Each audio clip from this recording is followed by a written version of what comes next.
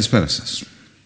Παρασκευή βράδυ με αντιθέσεις και ο απόψινός φιλοξενούμενός μας, όπως ήδη έχουμε προαναγγείλει, είναι ο Δήμαρχος ε, Ρεθύμνου και εκ νέου υποψήφιος για το Δημαρχιακό Θόκο, ο κύριος Γιώργος Μαρινάκης. Το Ρέθυμνο βεβαίως δεν είναι μια τυχαία πόλη, δεν είναι ένας τυχαίος μητροπολιτικός δήμος για την Κρήτη, είναι ουσιαστικά η τρίτη μεγαλύτερη δημοτική ενότητα, ενότητα πολεοδομικού ιστού στο νησί μας. Σύμφωνα με τα επίσημα στοιχεία, αθρηστικά, ο Μητροπολιτικός Δήμος υπερβαίνει τις 55.000. Η πραγματικότητα βεβαίως είναι εντελώς διαφορετική, είναι πολύ περισσότερο. Ε, εντός του αστικού ιστού του κυρίου Ρεθύμνου, η τελευταία απογραφή αναφέρονται σε 35.000. Τα νούμερα διαρκώς αλλάζουν. Και το Ρέθυμνο ταυτόχρονα, εκτός από πόλη των γραμμάτων, των τεχνών, του πολιτισμού δηλαδή και του τουρισμού, είναι ένα πρόσωπο προς τα έξω του νησιού σχεδόν όλη τη διάρκεια του χρόνου, συνυπολογίζοντας και τις αποκριάτικες εκδηλώσεις που έχουν γίνει θεσμός εκτός Κρήτης. Κύριε Δήμαρχε, καλησπέρα. Καλησπέρα. Θέλω να σας ευχαριστήσω για την παρουσία σας απόψε, αλλά απόψε δεν θα μιλήσουμε. Θα μιλήσουμε και για τις αποκρίες στα δράση. Θα μιλήσουμε όμως για την πόλη στην οποία ηγείστε και φιλοδοξείτε να ηγηθείτε εκ νέου. Θέλω ευθύς εξ αρχής να σας ρωτήσω πέντε υποψηφιότητες μέχρι στιγμής. Μένει να δούμε την επίσημη καταγραφή. Είναι πολλές ή λίγες για το Ρέθυμνο. Νομίζω ότι ευνοεί ο Κλεισθένης στη δημιουργία πολλών συνδυασμών. Εγώ θα ήθελα, αφού έχουμε δεδομένο το αναλογικό σύστημα, να έχουν προηγηθεί οι συνθέσεις και να έχουμε λιγότερα ψηφοδέλτια, πιο ισχυρά και με συγκεκριμένες θέσεις για τα θέματα. Ξέρετε, οι μικρές κοινωνίες πολυδιασπώνται με τα πολλά ψηφοδέλτια. Και αυτό είναι κακό, γιατί τελικά αποθαρρύνονται και άλλοι άνθρωποι που θέλουν να μπουν στην αυτοδιοίκηση όταν βλέπουν τελικά ότι, ξέρετε, δεν είναι μια διαδικασία εκτίμησης και αξιολόγησης, αλλά μια διαδικασία που απευθύνεσαι στον κοντινότερό σου, συγγενή σου, στο φίλο, στο περιβάλλον σου. Εγώ δεν είμαι υπέρ των πολλών ψηφοδελτίων. Βέβαια, βλέποντας τι γίνεται στα Γανιά, στο Ηράκλειο και Αλαχού, θεωρώ ότι είμαστε καλά. Αλλά θα μπορούσαμε να είμαστε και λιγότεροι.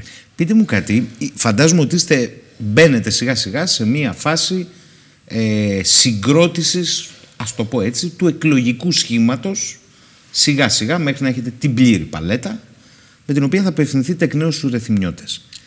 Ποια είναι η σκέψη ενός υποψηφίου δημάρχου, που είναι όμως και δήμαρχος, στη συγκρότηση ενός τέτοιου ψηφοδελτίου; Είναι μόνο τα πρόσωπα και οι ικανότητές τους; Λαμβάνετε υπόψη σας τα γεωγραφικά κριτήρια και την κατανομή; Είστε ουσιαστικά τέσσερις συνενούμενοι από το παρελθόν δήμοι. Παίζει ρόλο αυτό για σας; Λοιπόν, τα γεωγραφικά κριτήρια εκ του νόμου τα λαμβάνομαι υπόψη. Που και αυτό νομίζω ότι είναι λάθος του συστήματος.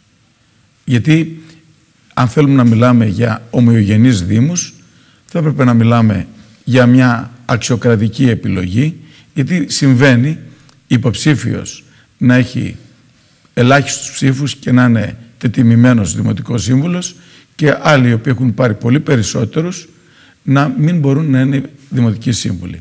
Ξέρετε, έτσι διασπάται η αρχή της ισότητας της ψήφου. Κάτι το οποίο ήταν, αν θέλετε, και η θεμελιώδης βάση του συλλογισμού του νομοθέτη για τον κλεισθένη. Βέβαια θα μου πείτε ότι οι μικρότερες ενότητες έχουν λιγότερους ψηφοφόρους. Εγώ όμως νομίζω ότι και εκεί θα φαινόταν και η διάθεση του επικεφαλής του κάθε συνδυασμού πώς αντιμετωπίζει τις περιφερειακές, τις δημοτικές του ενότητες, την περιφέρειά του δηλαδή την αντιμετωπίζει με σεβασμό. Θα φαινόταν καλύτερα μέσα σε ένα συγκεκριμένο συνολικό ψηφοδέλτιο από ότι τώρα που είσαι υποχρεωμένος να απευθυνθείς στους ντόπιους, να κάνεις την ποσόστοση, να απευθυνθείς σε ένα πληθυσμό και έτσι εξωτερώνεις άλλους που θα μπορούσαν να έχουν μεγαλύτερο εύρος σε όλο το Δήμο και να έχει καλύτερη εκπροσώπηση και η περιφέρεια από ό,τι ενδεχομένως έχει τώρα. Ξέρετε, ε, με παρασένετε να σας ρωτήσω ευθέως, μιας και το είπατε, έχει ενδιαφέρον αυτό περί της ισότητας της ψήφου και, με, και μου άρεσε και η προσέγγιση που κάνατε σε σχέση με το πώς ομογενοποιείς ένα μεγάλο δήμο πια. να συνάγω το συμπέρασμα ότι η ποσόστοση για τις γυναίκες ουσιαστικά είναι μια λάθος επιλογή. Δεν εννοώ δικιά σας, κεντρική επιλογή. Νομίζω ότι έχουμε μπει σε μια λογική υποχρεωτική συμμετοχής.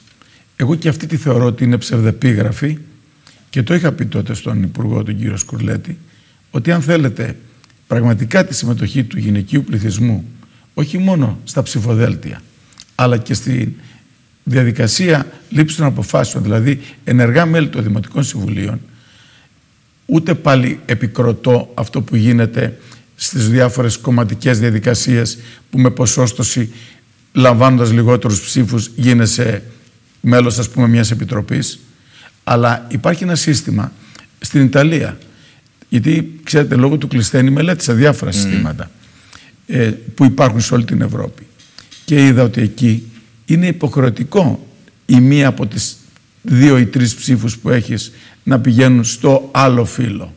Δεν είναι υποχρεωτικό να πάνε. Δεν, δεν το αντιλαμβάνουμε ως γυναίκες ή άντρες, αλλά δεν παραψηφίζεις μόνο γυναίκες, ούτε μόνο άντρες. Έτσι γίνεται μία μίξη των φύλων που νομίζω ότι είναι ωφέλιμη και όπου βλέπουμε ε, μονομέρεια, ας πούμε και μια φορά βλέπετε συνθέσεις δικαστικές και είναι μόνο γυναίκες ή μόνο άντρες. Δεν τη θεωρώ επιτυχημένη σύνθεση αυτή. Είναι άλλες οπτικές γωνίες. Μας προσδιορίζει το φίλο μας και για τις απόψεις μας και για τις θέσεις μας, ακόμα και για τις ευαισθησίες μας. Πείτε μου κάτι, η άποψή σας για την απλή αναλογική, το σύστημα της απλής αναλογικής ουσιαστικά, παίρνω το ρέθινο για το οποίο συζητάμε απόψε, Ναι. έχουμε πέντε υποψηφιότητες. Αν έχουμε δεύτερο γύρο, γιατί η κάλπη αποφασίζει και όχι πώς θα υπολογίζει το κάθε επιτελείο, ουσιαστικά τους δημοτικούς συμβουλούς, τη σύνθεση δηλαδή, θα την γνωρίζουμε από την πρώτη Κυριακή. Βεβαίως. Η απλή αναλογική, κατά τη γνώμη σας, είναι το σύστημα το οποίο οδηγεί σε συνθέσεις, είναι το αναγκαίο σύστημα; Από ό,τι είδατε, τουλάχιστον στην προεκλογική διαδικασία, οδηγεί σε αποσυνθέσεις. Και έχω διακηρυγμένη θέση. Ξέρετε, η σύνθεση και η συλλογικότητα και οι διαδικασίες ε, συνεννόησης δεν επιβάλλονται με τον νόμο. Πρέπει να υπάρχει σαν κουλτούρα μέσα στην κοινωνία. Το κεντρικό πολιτικό σύστημα δεν μας δίδει καλά παραδείγματα. Ούτε συνεννόησης, ούτε συνθέσεων, ούτε ακόμα και για τα αυτονόητα συμφωνιών. Οπότε, γιατί να είναι η βάση διαφορετική; Οι ίδιοι άνθρωποι, νομίζω, διατρέχουν την κοινωνία και οι ίδιες αντιλήψεις. Άποψή μου και εκεί ήταν ότι καταρχήν αυτό θα μπορούσε να δοκιμαστεί σαν σύστημα σε δήμους με, πληθ- με πληθυσμό ας πούμε 20.000 κατοίκων και κάτω για να δούμε πώς λειτουργεί σε μικρότερες κοινωνίες. Πιστεύετε ότι είναι πιο εύκολη η σύνθεση σε μικρότερες από ό,τι σε μεγαλύτερες κοινωνίες; Ε, είναι- ή θα είναι ο καθής και απάνω του; Κοιτάτε, θα ήταν λιγότερες οι απώλειες. Γιατί στις μεγάλες πόλεις, και πρέπει να το συνειδητοποιήσουμε, κάποιοι υποτιμούν τη λειτουργία των Δήμων, ακόμα και το αξίωμα του Δημάρχου. Θεωρούν ότι στην ιεραρχία ας πούμε, των αξιωμάτων είναι ίσως το υποδέστερο. Έχω άλλη γνώμη. Θεωρώ ότι είναι πολύ πιο δύσκολο να είσαι δήμαρχος και να κάνεις δουλειά βέβαια από ότι να έχεις οποιοδήποτε άλλο αξίωμα θέλετε και δεν εννοώ φυσικά του Υπουργού. Μμμ. Πείτε μου λοιπόν, άρα έχετε κάποιες επιφυλάξεις. Θα σας πει κάποιος, η ισότητα όμως της ψήφου έχει την πιο πιστή αποτύπωσή της στην απλή αναλογική. Μία ψήφος, μία αντιστοιχεία. Δεν είναι μία ψήφος που η δική μου έχει μία αντιστοιχεία και η δική σας πέντε αντιστοιχίες. Δεν- Είναι κακό αυτό; Όχι. Καταρχήν δεν ήμουν υπέρμαχος του προηγούμενου συστήματος το οποίο είναι έντονα πλειοψηφικό και αδική. Γιατί έτσι φαίνεται ότι οι κοινωνίες δεν εκπροσωπούνται αναλόγως της προτίμησης που έχουν εκδηλώσει στις εκλογές. Θα μπορούσαμε όμως να είχαμε ένα συγκεκριμένο ποσοστό ε, εισόδου στο Δημοτικό Συμβούλιο. Αυτό θα υποχρέωνε σε συνενώσεις και σε συνθέσεις. Αυτός ο πολυκερματισμός που Ναι. ακούω και δεν αναφέρομαι στο ρέθυμνο. Ε, 11 συνδυασμοί, 10 συνδυασμοί. Φανταστείτε αυτό το δήμαρχο, ο οποίος θα έχει, ξέρω εγώ, την πρώτη Κυριακή 17 ή 22% στην καλύτερη περίπτωση. Δηλαδή θα έχει το 1 πέμπτο των Δημοτικών Συμβούλων να πρέπει να κάνει μεθαύριο διοίκηση και να πάρει σοβαρές αποφάσεις σε μείζωνα θέματα. Άρα υπονοείται ότι έτσι κάποιοι φτιάχνουν συνδυασμό για να έχουν μία ή δύο έδρες, ουσιαστικά να το πω λαϊκά, για να κάνουν παζάρι το τι θα συμβεί. Ενδεχομένως ε, ανία τέτοιος δρόμος. Ακούστε. Αυτό το σύστημα ευνοεί να δημιουργούνται υποψήφοι αντιδήμαρχοι και όχι υποψήφοι δήμαρχοι. Mm. Διότι όταν η δυναμική του κάθε συνδυασμού φαίνεται και από το μέγεθός του, την αντιπροσωπευτικότητα που έχει, εάν καταρτίζει τοπικά συμβούλια στις τοπικές κοινωνίες, δηλαδή αν νιώθει ότι είναι μια πρόταση εξουσίας και όχι μια πρόταση ακριβώς για να έχει την επόμενη στιγμή κάποιο συγκεκριμένο ρόλο που δεν είναι υποδέστερος. Ξέρετε, όταν λείπει μία ψήφος, ίσως είναι πολυτιμότερη αυτή η μία από τις άλλες 15 που ίσως έχεις μαζί σου. Διότι αλλιώς δεν κάνεις διοίκηση. Και είναι τραγικό αυτό. Βέβαια ο Κλεισθένης για να μην αδικό το σύστημα ναι, ναι. έχει κάποιες δικλείδες ασφαλείας οι οποίες οδηγούν πολλές φορές να, να ψηφιστούν, θα οδηγήσουν μάλλον να ψηφιστούν ακόμα και μειοψηφικοί προϋπολογισμοί και μειοψηφικά τεχνικά προγράμματα. Άρα άμεσο θέμα κυβερνησιμότητας δεν βλέπετε να προκύπτει εκτός φυσικά κάποιων ακραίων περιπτώσεων θεωρείτε ότι με έναν τρόπο κυβερνησιμότητα θα υπάρχει μεν, θα υπάρχει αιρεσιμότητα όμως. Κοίτατε, αντιλαμβάνεστε ότι όταν κάτι είναι ΜΕΤ, το βλέπουμε τώρα και στο κεντρικό σύστημα, όταν ένα νομοθέτημα είναι στην ουσία μειοψηφικό στην κοινωνία, απλώς είναι πλειοψηφικά, πλειοψηφικό στη Βουλή και αυτό είναι τελείως συγκυριακό, αντιλαμβάνεστε ότι δεν έχεις τη δυνατότητα να το εφαρμόσεις, ούτε να το επιβάλλεις. Και έχω και μια άλλη αίσθηση, ότι στα τοπικά θέματα, στις τοπικές υποθέσεις που εμείς διαχειριζόμαστε, τα πράγματα καμιά φορά είναι πιο ξημένα, γιατί μπαίνει έντονα το προσωπικό στοιχείο. Το προσωπικό με την έννοια της συντεχνίας, του συμφέροντος, ακόμα και της παραπληροφόρησης, ακόμα και της σκόπιμης παρέλκυσης των διαδικασιών. Ξέρετε, είναι πολύ πιο ευαίσθητο καμιά φορά και πιο ενδιαφέρον ένα τοπικό θέμα από, ακόμα και από ένα εθνικό. Και το βλέπουμε αυτό μέσα από συνεδριάσεις, το βλέπουμε και μέσα από τις πιέσεις που δεχόμαστε σαν δημοτικό σύστημα όταν ας πούμε θέλουμε να κάνουμε μια κανονιστική ή όταν θέλουμε να αποδείξουμε ότι σεβόμαστε την νομιμότητα.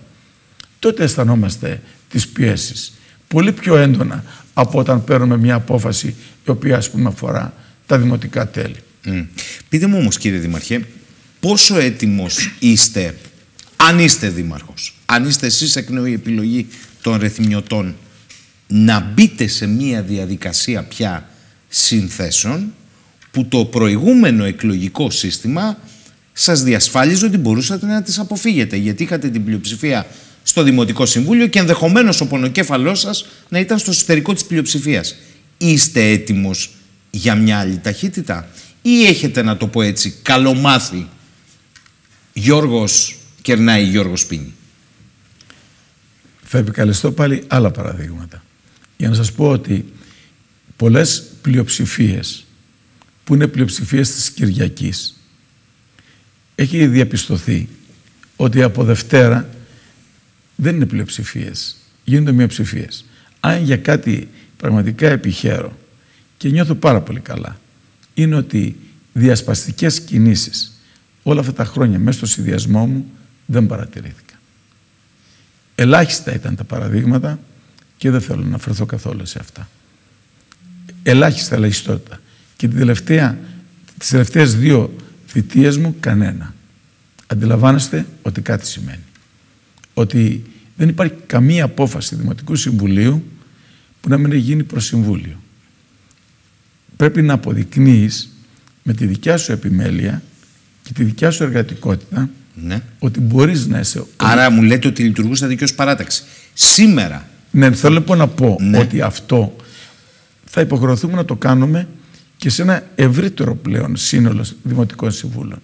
Και επειδή ο νομοθέτης έχει την πρόνοια πλέον να μην ψηφίζουμε γενικά και αόριστα, όπως μέχρι τώρα, προπολογισμό Δήμου Ρεθύμνης, τεχνικό πρόγραμμα και ούτω καθεξής. Αλλά ανακωδικό εκτίθεται εκείνος που θα πει ότι εγώ δεν ψηφίζω αυτόν τον κωδικό γιατί πρέπει να πει πώς θα τον ήθελε. Και όταν τα χρήματα είναι συγκεκριμένα και δεν είναι πλέον η αερολογία του απότα του παρελθόντος στην αυτοδιοίκηση που κάνανε πλασματικούς προϋπολογισμούς, βάζανε έσοδα ανύπαρκτα, έξοδα ό,τι θέλανε και έτσι μπορούσαν να λένε ό,τι ο καθένας νόμιζε. Τώρα δεν συμβαίνει αυτό. Όταν αφαιρέσεις από ένα κωδικό ένα ποσό, θα πρέπει να το πας κάπου αλλού ή, ή να το πάρεις από κάπου αλλού για να το πας εκεί που θέλεις. Άρα αυτομάτως θα κάνεις επιλογή και θα διαλέξεις. Γιατί ξέρετε, συμβαίνει συχνά και στην αυτοδιοίκηση, αλλά και γενικά στη ζωή, γιατί παρακολουθώ την πολιτική ζωή του τόπου, οι αντιπολιτεύσεις να τα έχουν όλα εύκολα. Γιατί έκανες αυτό, εκείνη τη στιγμή πρέπει να αναλογιστούν τι έκανες για να μην μπορείς να κάνεις αυτό. Γιατί τον ίδιο χρόνο να είμαι και στο κανάλι σας και στο σπίτι μου δεν γίνεται. Παρ' όλα αυτά αντιλαμβάνομαι πλέον ότι θα πάμε σε μεγαλύτερες σε εύρος χρόνου συνεδριάσεις δημοτικών συμβουλίων εκ των πραγμάτων.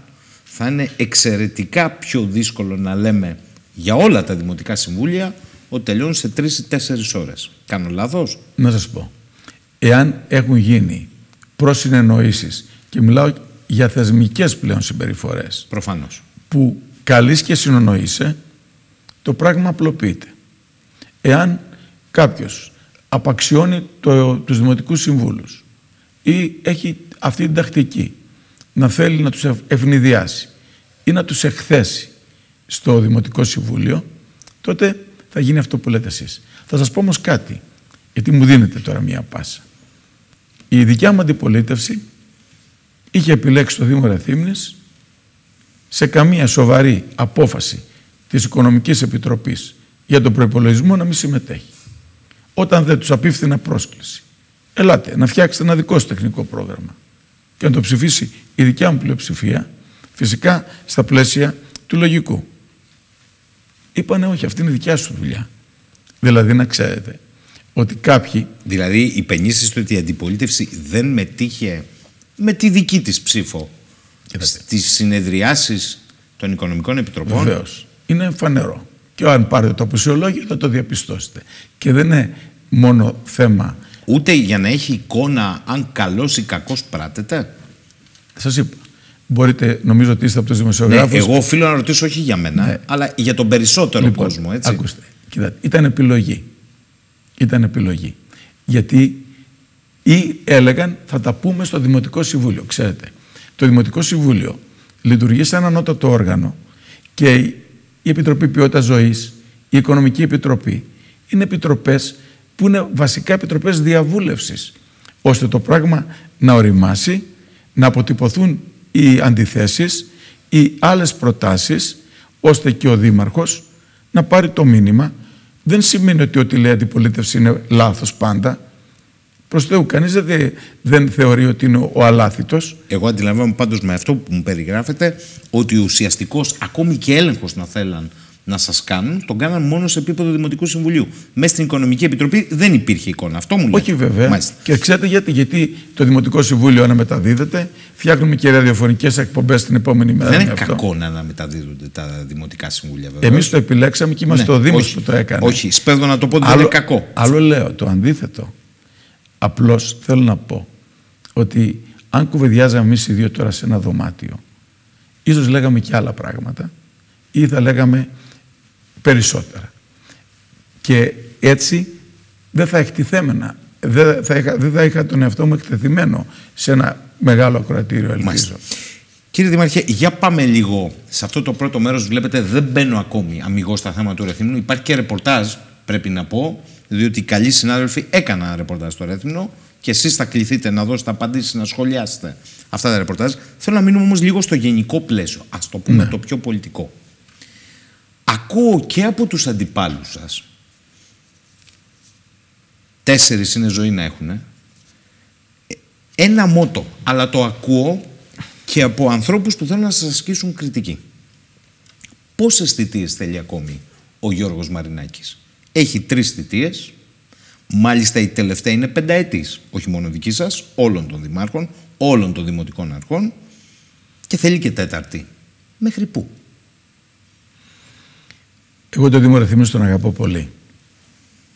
Και έχω επίγνωση, ιδίως τώρα και με τον Κλεισθένη, ότι είναι ένα πολύ ευαίσθητο προϊόν.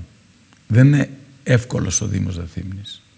Έχει φτάσει σε ένα υψηλό επίπεδο και αναγνωσιμότητας και εξυγίανσης και λειτουργικότητας, αλλά η φιλοδοξία μου είναι να με κληρονομήσουν οι καλύτεροι. Δεν με έπεισε η αντιπολίτευση όλο αυτόν τον καιρό ότι έχει αυτά τα στοιχεία. Δηλαδή κατεβαίνετε επειδή δεν σας έπεισε η αντιπολίτευση. Αλλιώς θα είχατε πάρει το καπελάκι σας και θα είχατε φύγει. Λοιπόν. Ε, είναι μια υπεκφυγή, θα σας πει κάποιος, εσαί στο Δινεκέ, δεν θα σας πει κανείς από την αντιπολίτευση. Μετά από εμένα το χάος και μένω εδώ. Λοιπόν, όχι.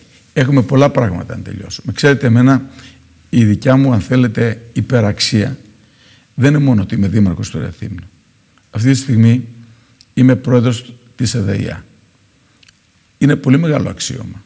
Ξέρετε, είναι η έδρα της επιχείρησης της Ένωσης αυτής στη Λάρισα και ο Δήμαρχος Λαρισίων που είναι τετραπλάσια πόλη του Ρεθύμνου είναι ο αντιπρόεδρός μου και με αποδέχεται και βγαίνει στην ελεύσεις και πλέκει το εγκόμιο του Προέδρου. Και είμαι μέλος του επιχειρησιακού προγράμματος για τα λύματα για όλη την Ελλάδα.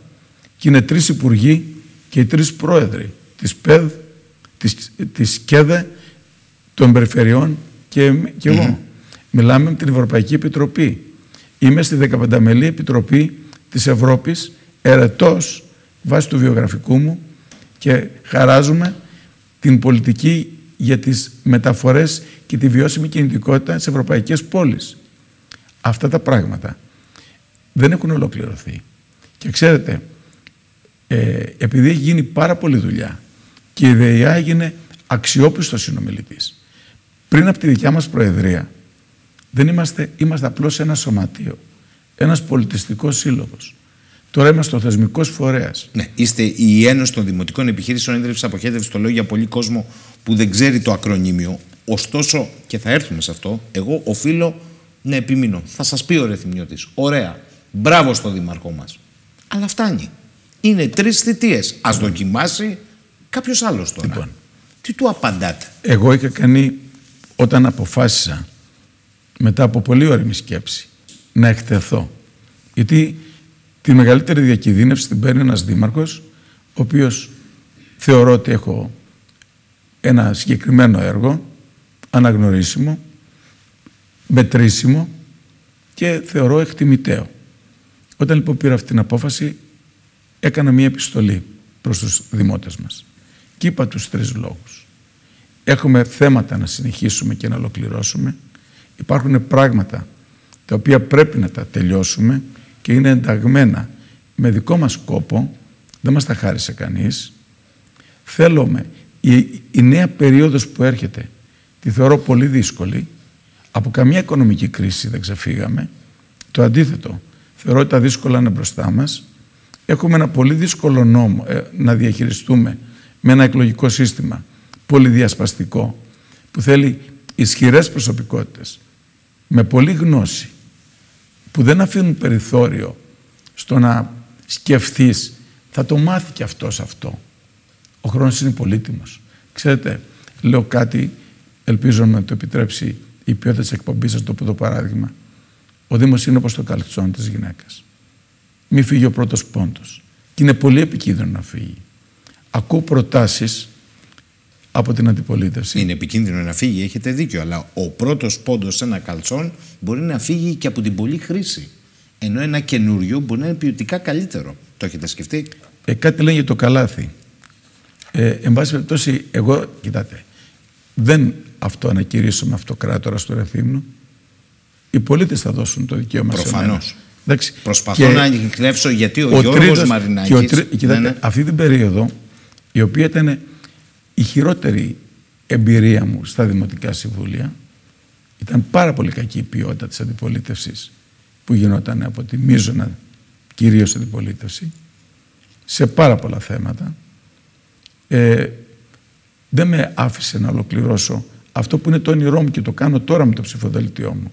Και είναι μια πρόταση προς την κοινωνία του Ρεθύμνου.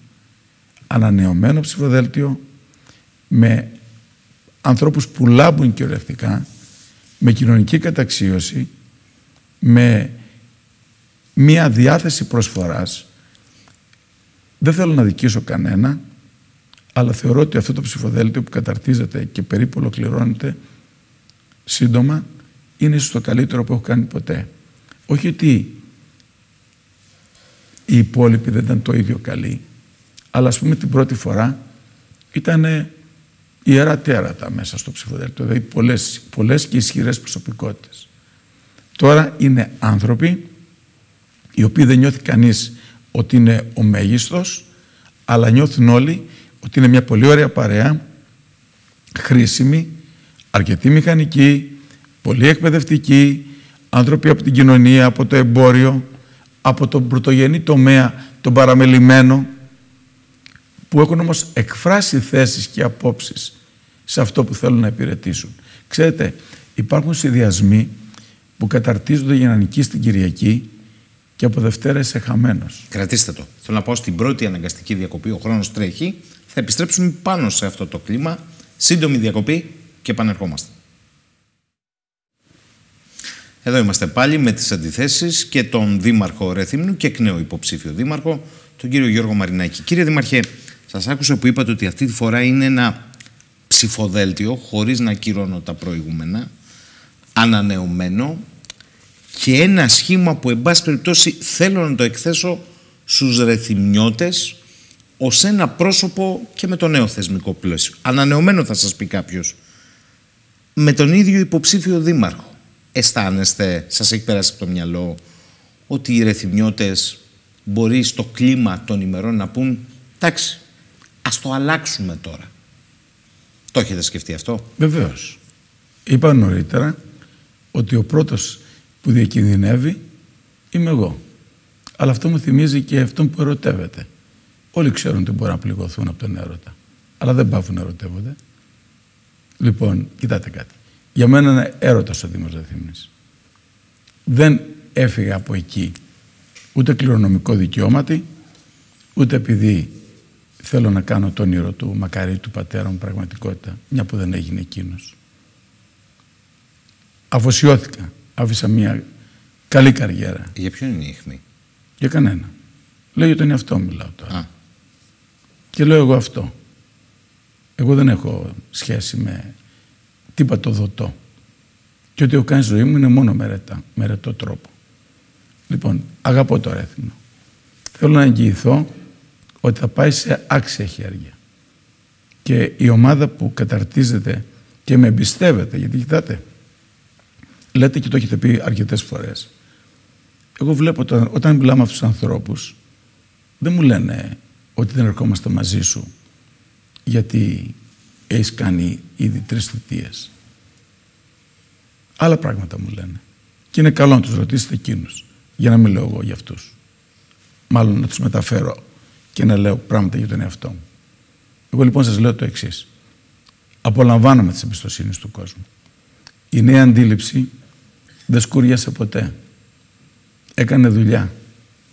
Έκανε ένα ρέθυμνο το οποίο δεν ήξερε πού χρωστά να μην οφείλει σε κανένα. Και προσπαθεί με ωραίο τρόπο να ενώσει όλες τις παραγωγικές δυνάμεις του τόπου και να πάμε όλοι ψηλότερα. Γι' αυτό έχω και μεγάλη αγωνία πώς θα διασυνδεθεί ο πρωτογενής τομέας με τον τουριστικό τομέα, με το εμπόριο. Ξέρετε, ένα σύνολο είμαστε. Η Κρήτη δεν είναι οι ωραίες και προσενάλινες μπανιέρες στα ξενοδοχεία. Είναι οι άνθρωποι του, είναι ο τόπος του, είναι οι παραγωγές του, η κτηνοτροφία του. Αν αυτά τα εγκαταλείψουμε, δεν νομίζω ότι μπορεί να υποστηριχθεί ούτε καν το τουριστικό προϊόν, αν παραγνωρίσουμε τη σημασία όλων των υπολείπων. Δεν είναι σε αυτή την εκλογική αναμέτρηση σας μεταφέρω ακριβώς το κλίμα, κατά τη γνώμη μου τουλάχιστον, που επικρατεί αν θέλετε στα αντίπαλα δημοτικά σχήματα. Ιδίως αυτό της μέχρι σήμερα μίζωνος αντιπολίτευσης. Δεν είναι ένα ντεζαβαντάζ για σας ότι έχετε ουσιαστικά 12 και πλέον χρόνια. Δηλαδή, αισθάνεστε ότι δεν περνάει αυτό το σύνθημα; Έχουμε ούκο λίγα παραδείγματα και στην Κρήτη που αυτό το σύνθημα μπορεί να είναι καλός. Μπορεί να έχει κάνει μερικά πράγματα. Αλλά είναι 12 χρόνια. Πόσο θα πάει; 17, 20, πότε θα πει ότι ο επόμενος είναι ένας άξιος συνεχιστής και εγώ τραβιέμαι; Εγώ, και εγώ... ο κριτής θα είναι ο ίδιος; Μιλώντας για σας φυσικά. Ε. Ακούστε, ακούστε. Πάντα είναι ο λαός. Σας είπα και το έχω πει σε όλους τους τόνους ότι με αυτή τη θητεία ολοκληρώνω. Δεν είναι το σκαλοπάτι της επόμενης. Η φιλοδοξία μου είναι αυτή. Πρώτον να ολοκληρώσουμε τη δουλειά που έχουμε κάνει, ναι. να χτίσουμε στέρεα το Δήμο Ρεθύμνης να αντιμετωπίσει όλους τους επικείμενους κινδύνους. Δεν είναι απλά τα πράγματα. Ξέρετε, ακούγονται παράξενα πράγματα για την αυτοδιοίκηση στον αέρα από κόμματα που θέλουν να είναι και κόμματα εξουσίας όπως ας πούμε να πάρουμε τον έμφυα αυτό σημαίνει αυτομάτως 700 εκατομμύρια λιγότερη πόρη την αυτοδιοίκηση. Για όποιον ξέρει να διαβάζει καλά πίσω από, τη, από την κουρτίνα αυτή την εξαγγελία. Δεν είναι εύκολη καιρή. Και ήδη οι περικοπές είναι πάρα πολλές. Αυτός λοιπόν ο Δήμαρχος των 12 χρόνων υποδέχτηκε ένα Δήμο που χρωστούσε αρκετά χρήματα, 30 εκατομμύρια περίπου, μαζί με τη ΔΕΙΑΡ, που είχε παρέλαβε όλα τα μνημόνια, όλες τις περικοπές, που είναι πάνω από 62% και κατάφερε ο Δήμος Ρεθύμνης να μην χρωστάει σε κανένα, να μην υπάρχει καμία λήξη πρόθεσμη απέτηση κατά του Δήμου Ρεθύμνης, να έχει ταμείο, να μπορεί να κάνει μόχλευση των χρημάτων και όταν έρχεται το κράτος και μου δίνει ας πούμε 500.000 για να κάνω επισκευές στα σχολεία. Λέω ένα παράδειγμα για να καταλάβετε. Αφενός με τι κάνουμε ως Δήμος Δεθύμνης εμείς και τι δεν έχει καταλάβει η αντιπολίτευση ότι κάνουμε και κάνει και από αυτού αντιπολίτευση. Όταν το κράτος σου δίνει 500.000 για ένα ασθενή Δήμο που δεν έχει νεφρά δηλαδή, στην ουσία είναι μια κοροϊδία, του δίνει 250 γιατί τα άλλα 250 τα επιστρέφει πίσω για των εκτόσεων στα δημο... στις δημόσιες συμβάσεις.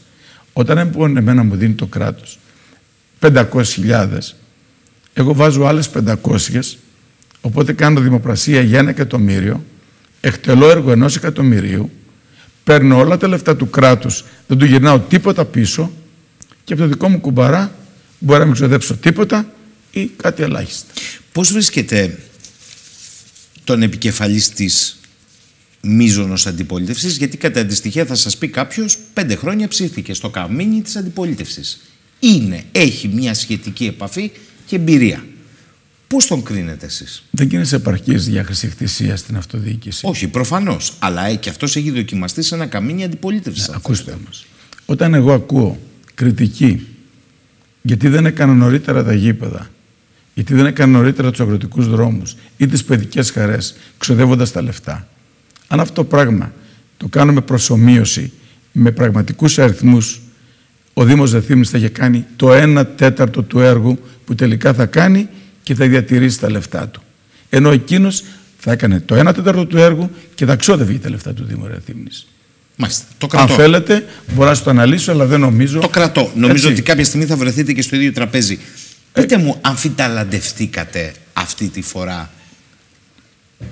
αν θα είστε επικεφαλής ή αν θα επιλέξετε έναν άλλο στίβο; Θέλω να θυμίσω ότι γράφτηκε και δεν διαψεύστηκε ούτε από τον πολιτικό φορέα ότι από την, τουλάχιστον από την περασμένη άνοιξη μέχρι ένα κομμάτι του καλοκαιριού υπήρξαν επαφές από το κόμμα της αξιωματικής αντιπολίτευσης. Σας συνάντησε προσωπικά ο πρόεδρος της Νέας Δημοκρατίας κύριος Μητσοτάκης και κατά μία φήμη που δεν επιβεβαιώθηκε αλλά δεν διεψεύστηκε κιόλας, σας προτάθηκε ακόμη και του να ηγηθείτε ενός περιφερειακού ψηφοδελτίου για την Κρήτη.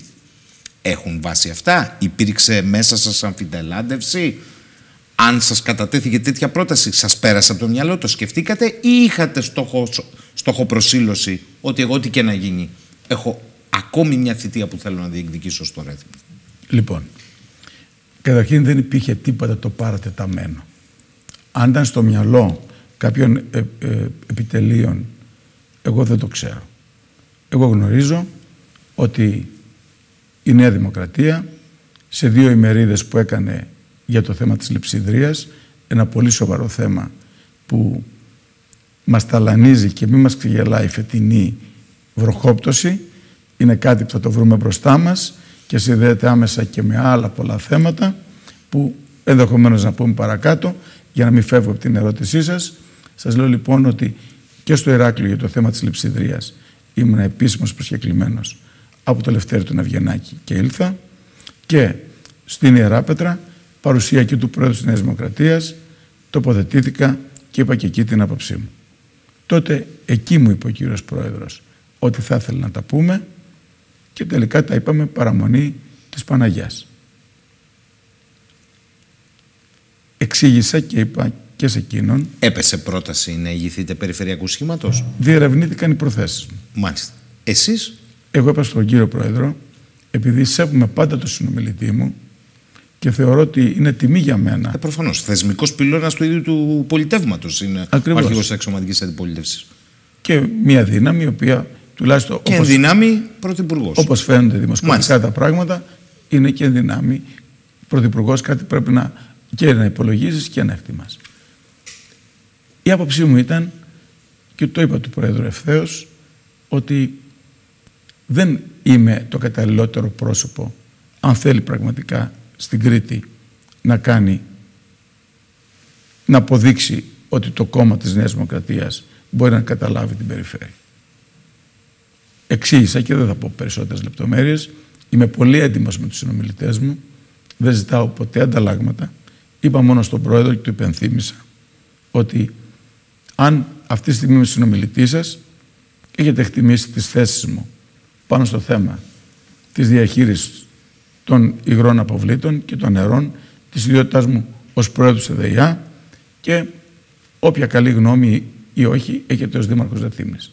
Εγώ αυτό ξέρω να κάνω καλά και εκεί θα ήθελα να μείνω και να συνεχίσω να κάνω. Τι σας είπα όταν είπα ότι θα παραμείνω στο Δήμο, δηλαδή διεκδικώντας το Ο έτσι. κύριος Πρόεδρος, να ξέρετε, άκουσε, δεν αντέλεξε. Προφανώς, εγώ του είπα και κάτι πολύ συγκεκριμένο. Όλα πλέον είναι μετρήσιμα στην πολιτική. Εγώ μπορώ να είμαι ψώνιο και νομίζω ότι κάνω και για πρωθυπουργός. Όλα μπορούν να μετρηθούν. Ο Σταύρος Αρναουτάκης, κατά τη γνώμη μου, είναι ένας πολύ επιτυχημένος περιφερειάρχης. Ε, δεν είμαι εκείνος εγώ, δεν είμαι εγώ εκείνος που θα τον θα τολμούσα να σκεφτώ και λόγω και της προσωπικής σχέσης που έχω μαζί του ότι θα την παρατεθώ. Καταρχήν, ε, στη ζωή μου δεν υπήρξα ποτέ αγνώμων. Όταν το 2006 αποφάσισα να γίνω υποψήφιος δήμαρχος, Δήμαρχος, ναι, ναι. επισκέφτηκα τρεις ανθρώπους της αυτοδιοίκησης. Το Σταύρο τον Αρναουτάκη στο Ηράκλειο, τον Μπάρη τον Κουκουλόπουλο στην Κοζάνη και τον Σίμω τον Δανιηλίδη στη Νεάπολη. Το Σίμω διότι ήταν ο καλύτερος και είναι ο καλύτερος δήμαρχος Σικές Νεάπολη, ναι, ναι. ναι, στα θέματα των κοινωνικών προγραμμάτων και των ευρωπαϊκών. Στον Πάρη τον Κουκουλόπουλο, διότι είχε πολύ βαθιά άποψη για την αυτοδιοίκηση και την μεπιεκίδα και την φοβερή διαχείριση απορριμμάτων που γινόταν τότε από ένα φορέα σε όλη τη Δυτική Μακεδονία. Έτσι, και ό,τι καταλάβατε.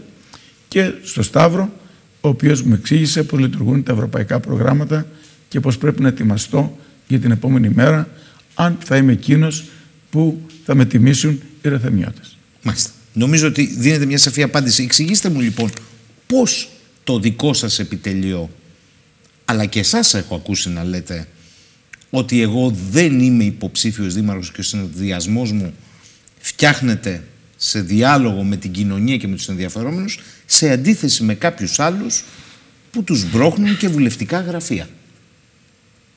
Και σας το λέω ευθέως. Είστε καλός ως πρόταση για τον πρόεδρο της Νέας Δημοκρατίας για την περιφέρεια που εσείς εξηγήσετε δεν θέλετε. Είστε κακός ως δήμαρχος γιατί αν δεν κάνω λάθος τον βουλευτή της αντιπολιτεύσεως φωτογραφίσατε και εσείς και το επιτελείο σας με αυτό. Είστε κακός για δήμαρχος Ρεθύμνου κατά τον βουλευτή της Νέας Δημοκρατίας; Εάν παρακολουθήσει τα δημοσιεύματα εκείνου του καιρού, θα δείτε ότι τελικά πήγαν να με βγάλουν και ψεύτη ότι δεν συναντήθηκα ποτέ με τον Πρόεδρο, αλλά ότι συναντήθηκα μόνο με τον Λευτέρη τον Αυγενάκη, με τον οποίο δεν είχα κουβεντιάσει καθόλου το θέμα αυτό επί πολλές μήνες. Μία φορά τον προηγούμενο χειμώνα μου έκανε μία ανοίξη τελείως φιλική και χωρίς καμία πίεση, ούτε καμία. Ούτε, ναι, ούτε επανήλθε άλλη φορά. Λοιπόν, έγινε μία φοβερή, αν θέλετε, ε, προσπάθεια, γιατί χαλούσε τη συνταγή πώς κάποιος που κάνει για περιφερειάρχης δεν κάνει για δήμαρχος.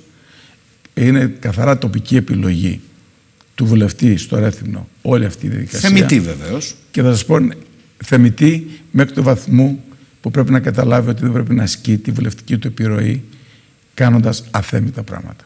Τι εννοείται, αθέμητα πράγματα; Ναι, ακριβώς. Α, ε, αθέμητο είναι να πω ότι εγώ υποστηρίζω Όχι για το όνομα το Θεού. Γιώργο Μαρινάκη Οι ή πιέσεις- το Θοδωρή Νίνο, οι ξέρω πιέ- εγώ. οι Είναι, πιέσεις είναι που- αθέμητο αυτό; Οι πιέσει που ασκούνται σε ανθρώπους συγκεκριμένους και είναι η πρώτη φορά που το λέω, πραγματικά είναι πέρα από κάθε όριο. Ξέρετε, εγώ θεσμικά δεν παρεμβαίνω σε, σε άλλες εκλογές. Και αν θέλουμε να μιλάμε για αυτοδιοίκηση, είναι καλό και για τα κόμματα τα ίδια και για τους βουλευτές να μας σέβονται λίγο περισσότερο θεσμικά. Γιατί ξέρετε, εμείς ενώνουμε τις κοινωνίες. Εμένα στο δικό μου συνδυασμό υπάρχει μια πολύ μεγάλη ομάδα ανθρώπων που ψηφίζουν τον συγκεκριμένο βουλευτή, που είναι φανατικοί υποστηρικτές της Νέας Δημοκρατίας Καλά, φαντάζομαι και στον άλλον τα ψηφοδέλτια θα υπάρχουν αντιστοίχως ε, οι ψηφοφόροι που ψηφίζουν άλλα κόμματα. Μην μη, μη το περικλείς. δεν, είναι- δεν είναι το ίδιο και να το ξέρετε. Πείτε μου όμως κύριε Μαρινάκη, αν εσείς αφήνετε μία ε, με ευθεία, όχι αιχμή, ευθεία βολή, θα σας πει κάποιος καλά και εσάς δεν σας υποστηρίζει το κίνημα της αλλαγής ή δεν επιδιώξατε εσείς να λάβετε τη στήριξη και από το ΣΥΡΙΖΑ, το κυβερνητικό κόμμα. Δηλαδή δεν επιδιώξατε κι εσείς αντιστοίχως μία μόχλευση στήριξης, δεν λέω κάτι άλλο, και το ένα κόμμα σας στηρίζει και επισήμως, αν δεν κάνω λάθος. Εκτός αν κάνω λάθος, να διορθώνετε. Όχι, όχι. Και το ποτάμι. Α, και το ποτάμι. Ωραία. Και οι οικολόγοι. Άρα θα σας πει κάποιος γιατί να εγκαλείται ένας άλλος υποψήφιος, εν προκειμένου ο κύριος προσέξτε. Μίνο, Όχι. που τον στηρίζει ένας βουλευτής; Καταρχήν, καθόλου κακό. Είναι δικαίωμά του. Και του κόμματος και του βουλευτή και του υποψηφίου. Εγώ μιλάω για άλλα θέματα. Πώς δημιουργούνται οι πιέσεις Ναι. και αν έχω δικαίωμα εγώ να ασκώ Α. από το αξίωμά μου πιέσεις ή να προσπαθώ να αποσπώ ανθρώπους από συνδυασμούς. Ξέρετε, είναι συγκεκριμένα τα πράγματα. Και έχουν και ονοματεπώνυμα. Και το λέω με, από μια εκπομπή που και σας σέβομαι και την ακροματικότητά της. Συμβαίνουν παράξενα πράγματα. Και ξέρετε, μου κάνουν καλό όλα αυτά. Πεισμώνουν τους ανθρώπους, ακόμα και τους δικούς τους. Τους πεισμώνουν. Γιατί αυτή είναι η διαφορά μας. Η νέα αντίληψη δεν έχει σχέση με αυτά. Κοιτάτε, εγώ όταν ήμουν το 6 υποψήφιος και πήρα το χρήσμα από τότε ισχυρό Πασόκ, ούτε τότε με θέλανε. Γιατί δεν υπήρξα ποτέ παιδί κανένας κομματικός σωλήνας. Ούτε έχω πάρει ποτέ κανένα αξίωμα. Ούτε καν μέλος δεν ήμουνα.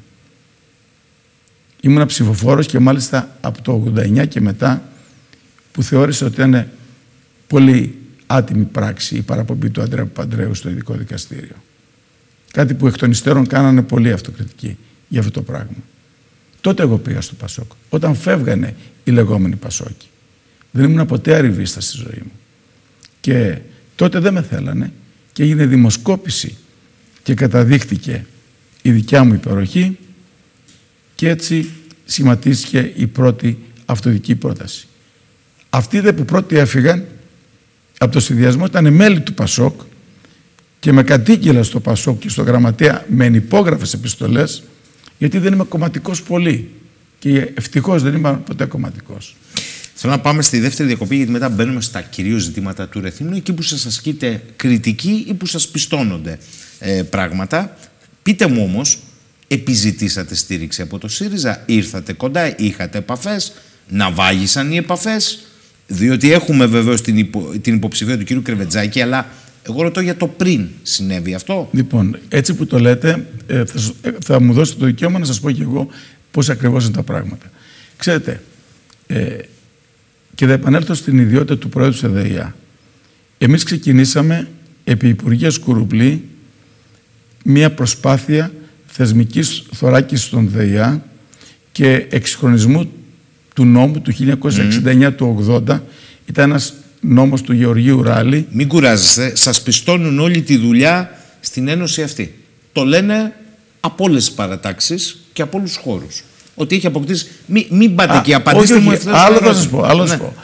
Ε, Κάνοντας λοιπόν αυτή την επαφή, αρχικά με τον κύριο Κουρούπλη και μετά με τον κύριο Σκουρλέτη, που όπου μας έδωσε το δικαίωμα αυτής της συνεργασίας μας να δημιουργηθεί μια σχέση εκτίμησης, αμοιβαίας. Και μάλιστα στο συνέδριο των Ιωαννίνων, ο Υπουργός έκανε ρητή αναφορά σε μένα ως ανθρώπου που ξέρει να συνεργάζεται. Που γνωρίζει όμως ότι εγώ πολιτικά δεν μετακινήθηκα ποτέ. Στα πλαίσια όταν είσαι υπουργός και καταθέτεις ένα νόμο της απλής αναλογικής και η πλατφόρμα σου είναι πρέπει οι κοινωνίες να συνονοηθούν και να δημιουργήσουν ευρύτερες αυτοδιοικητικές παρατάξεις. Ήταν λογικό. Εκείνοι να θέλουν να είμαι. Εγώ όμως, ξέρετε, όπως μου είπαν, δεν είμαι πολύ γενναιόδωρος. Δηλαδή, έχω συγκεκριμένες αρχές που δημιουργώ τις παρατάξεις μου. Κάποιοι τσίνησαν μέσα από το χώρο, δεν τους άρεσε να είμαι εγώ εκείνος που στο όνομά μου θα παρατασσόταν οι δικές τους δυνάμεις και δεν έγινε ποτέ αυτή η σύνθεση. Χαίρομαι, δίνετε μία απάντηση. Με αυτή την έννοια λέω χαίρομαι και διευκρινίζετε τι ακριβώς συνέβη. Θέλω να πάμε στη διακοπή. Όταν επιστρέψουμε, θα μιλήσουμε πια με ρεπορτάζ και με θεματικέ πάνω στα ζητήματα του Μητροπολιτικού Δήμου, του τρίτου σε δυναμικότητα, δεν εννοώ σε σφρίγος, ε, Μητροπολιτικού Δήμου του νησιού του Δήμου Ρεθυμνής. Επιστροφή στις αντιθέσεις. Υπενθυμίζω ότι συνομιλούμε απόψε με τον Δήμαρχο Ρεθυμνής, και εκ νέου υποψήφιο βέβαια δήμαρχο, τον κύριο Γιώργο Μαρινάκη, για να έρθουμε τώρα στο αγαπημένο σας Ρέθυμνο. Ε, υπάρχουν και ρεπορτάζ, υπάρχουν και ζητήματα, αλλά θέλω ευθύς εξ αρχής, διότι αντιλαμβάνομαι ότι είναι σε μια συνολική αντίληψη με το θέμα της στάθμευσης στην πόλη του Ρεθύμνου, ένα ζήτημα που περίπου γίνεται σιγά σιγά για κάποιους εμβληματικό είναι η περίφημη υπόθεση του πάρκινγκ. Θέλω να ξεκινήσουμε από αυτό. Νομίζω ότι έχοντας πια ένα εύρος χρόνου και μια εικόνα από τότε που ξεκίνησε η ιστορία, οραματική, δεν προχώρησε όμως, για την πλατεία των Τεσσάρων Μαρτύρων, θέλω να μου πείτε τελικώς γιατί, όχι δεν περπάτησε, είναι προφανές, επενδυτές δεν μπορούσαν, το Τζέσικα δεν περπάτησε, ωραία. Εναλλακτικές σκεφτήκατε αναζητήσατε. Ο επικεφαλής της μίζωνος αντιπολίτευσης σας έλεγε διαρκώς πριν βάλετε μπροστά την ανάπλαση της πλατείας του Αγιώργη του Πεταλιώτη κάντε κάτι, ένα υπόγειο πάρκινγκ, φτιάξτε μια υποδομή. Η πόλη σε χώρους στάθμευσης αυτοκινήτων οχημάτων ασφικτία. Πείτε μου λοιπόν σήμερα αν θεωρείτε ότι δεν το είδατε τόσο ζεστά το θέμα αυτό. Κρίμα που δεν έχω το κινητό μαζί μου για να σας δείξω και να σας αποδείξω αυτό που το είπα και δεν νομίζω ότι ποτέ η αντιπολίτευση το έβαλε το θέμα. Ξέρετε, η πλατεία του Αγίου Γιώργη πέρασε από Δημοτικό Συμβούλιο, είναι μελέτη του Μάνου του Τσάκονα που είναι υπάλληλος του Δήμου και είναι μια ευληματική μελέτη που αλλάζει τη φυσιογνωμία μιας ολόκληρης περιοχής.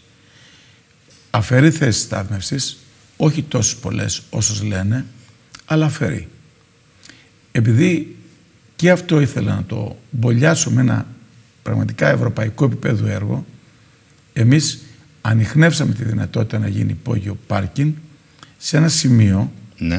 που η μελέτη που έγινε από την εταιρεία που ανέθεσε το Υπουργείο Εστερικών για να διαρευνήσει τις πιθανές θέσεις για υπόγειο πάρκιν του Ρεθύμνου είχε κρίνει αυτή η μελέτη ως ασύμφορο αυτό το πάρκιν. Ακόμα και 300 θέσεων.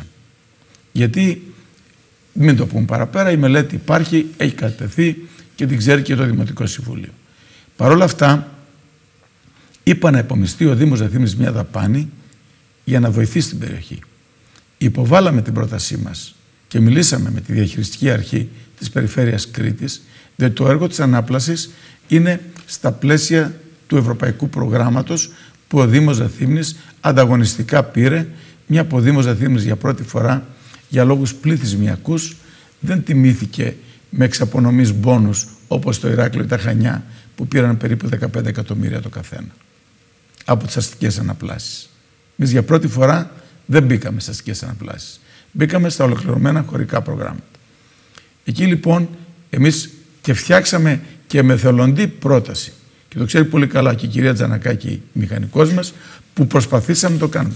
Μας είπε η περιφέρεια το εξής. Η διαχειριστική αρχή. Εάν τολμήσετε να δημοπρατήσετε παράλληλα αυτό το έργο, θα πενταχθεί το έργο των 2 εκατομμυρίων της πλατείας.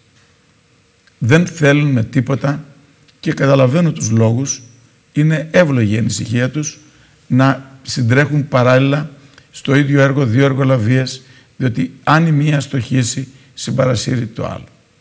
Άρα αυτός είναι ο ουσιαστικός λόγος. Και ο μοναδικός. Πείτε μου όμως. Ακούστε όμως κάτι. Ναι, ναι. Εκεί η γη, η οποία προβλέπεται και την οποία επί της δημαρχίας μου αγοράστηκε ένας χώρος πανάκριβος περίπου 1,5 εκατομμύριο ευρώ και δεν τον αφήσαμε να γίνει και αυτός πολυκατοικία.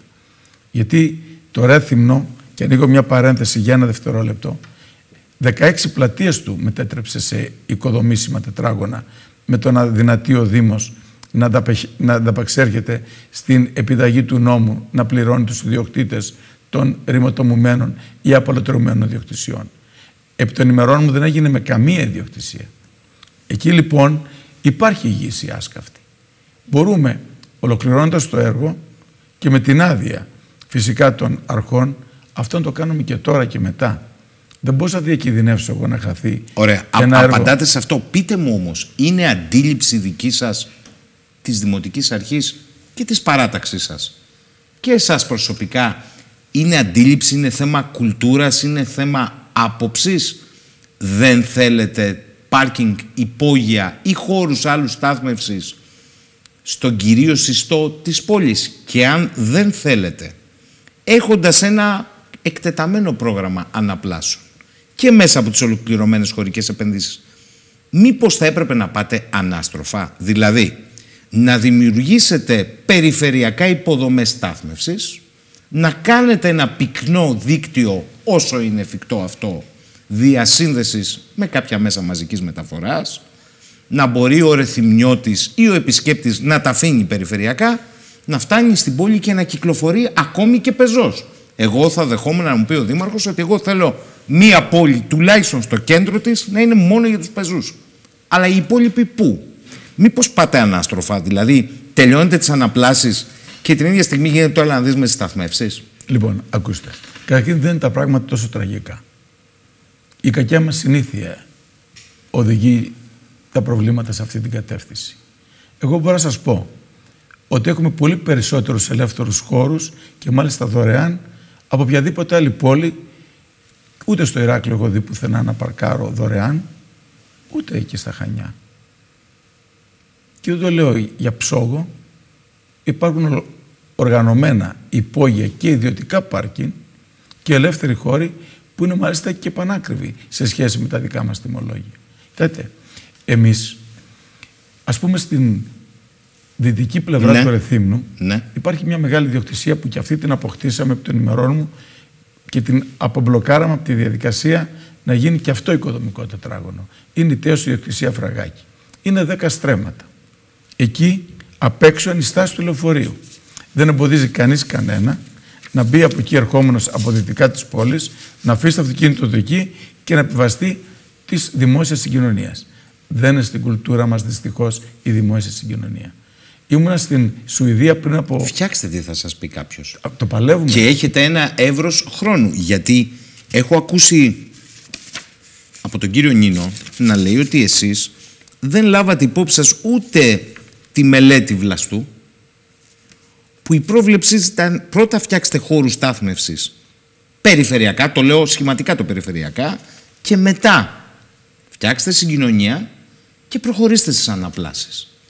κύριε, ξέρετε, είναι, ο κύριος Νίνος χρησιμοποιεί κάθε φορά επιχειρήματα γνωρίζοντας ότι ο συνομιλητής του δεν μπορεί να τον αντικρούσει.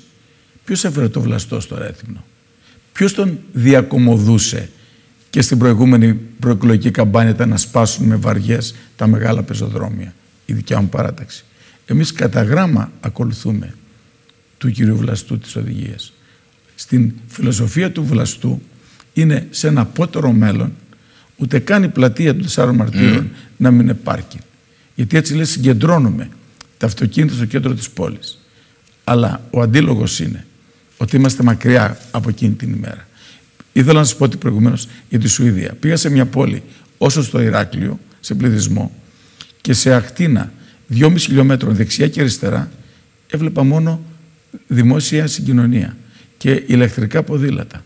Δεν είδα ούτε ένα ιδιωτικό αυτοκίνητο. Ωραία. Στη χώρα του Βόλβο. Μάλιστα. Κάπου όμως τα, τα εναποθέτουν. Δεν σημαίνει κάπου δεν, τα αφήνουν. Δεν, μπαίν, δεν μπαίνουν στις Δεν πόλεις. μπαίνουν. Αλλά έχουν υποδομή όμως να αφήσουν για Κοιτάτε, να μετακινηθούν. κοιτάτε. Η πόλη μας δυστυχώς, σύμφωνα με τους ελεύθερους χώρους που διαθέτει, θα έπρεπε να έχει 18.000 πληθυσμό. Δεν έχει πλειάδα ελεύθερων χώρων. Δεν υπάρχουν χώροι οι οποίοι να είναι ελεύθεροι και να μην τους έχουμε αξιοποιήσει. Αξιολογείται το κυκλοφοριακό στο Ρέθυμνο γιατί είναι μια συναρμογή εδώ. Ναι. Ω ίσονο σημασίας θέμα για τους πολίτες. σας. Όχι. Είναι πολύ σημαντικό γιατί ξέρετε είναι ένα σύνθετο θέμα. Δεν λύνεται με ευκολόγια.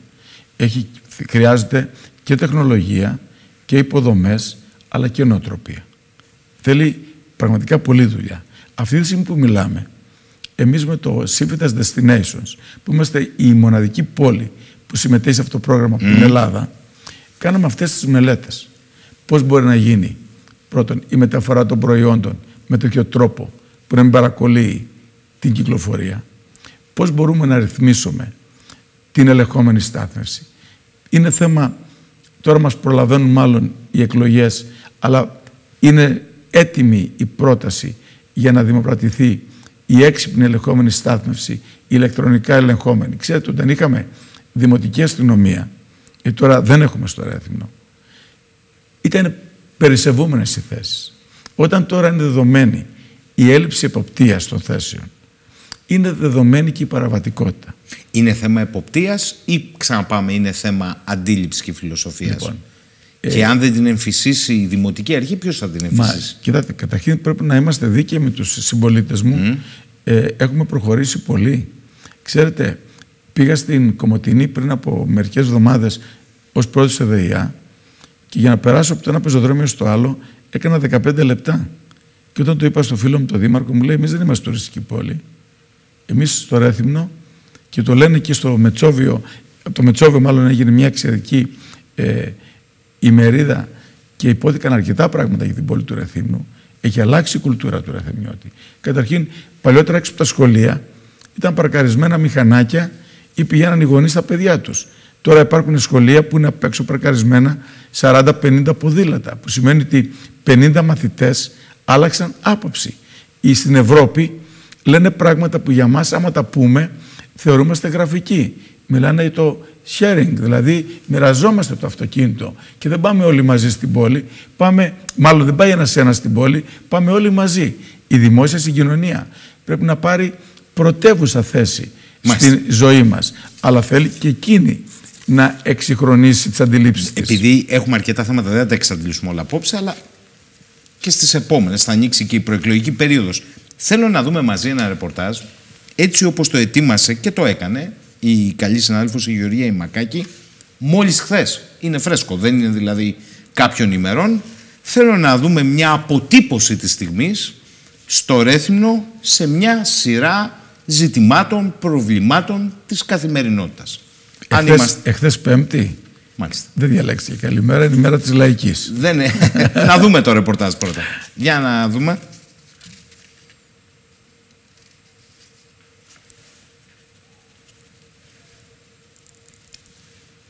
Ρέθυμνο.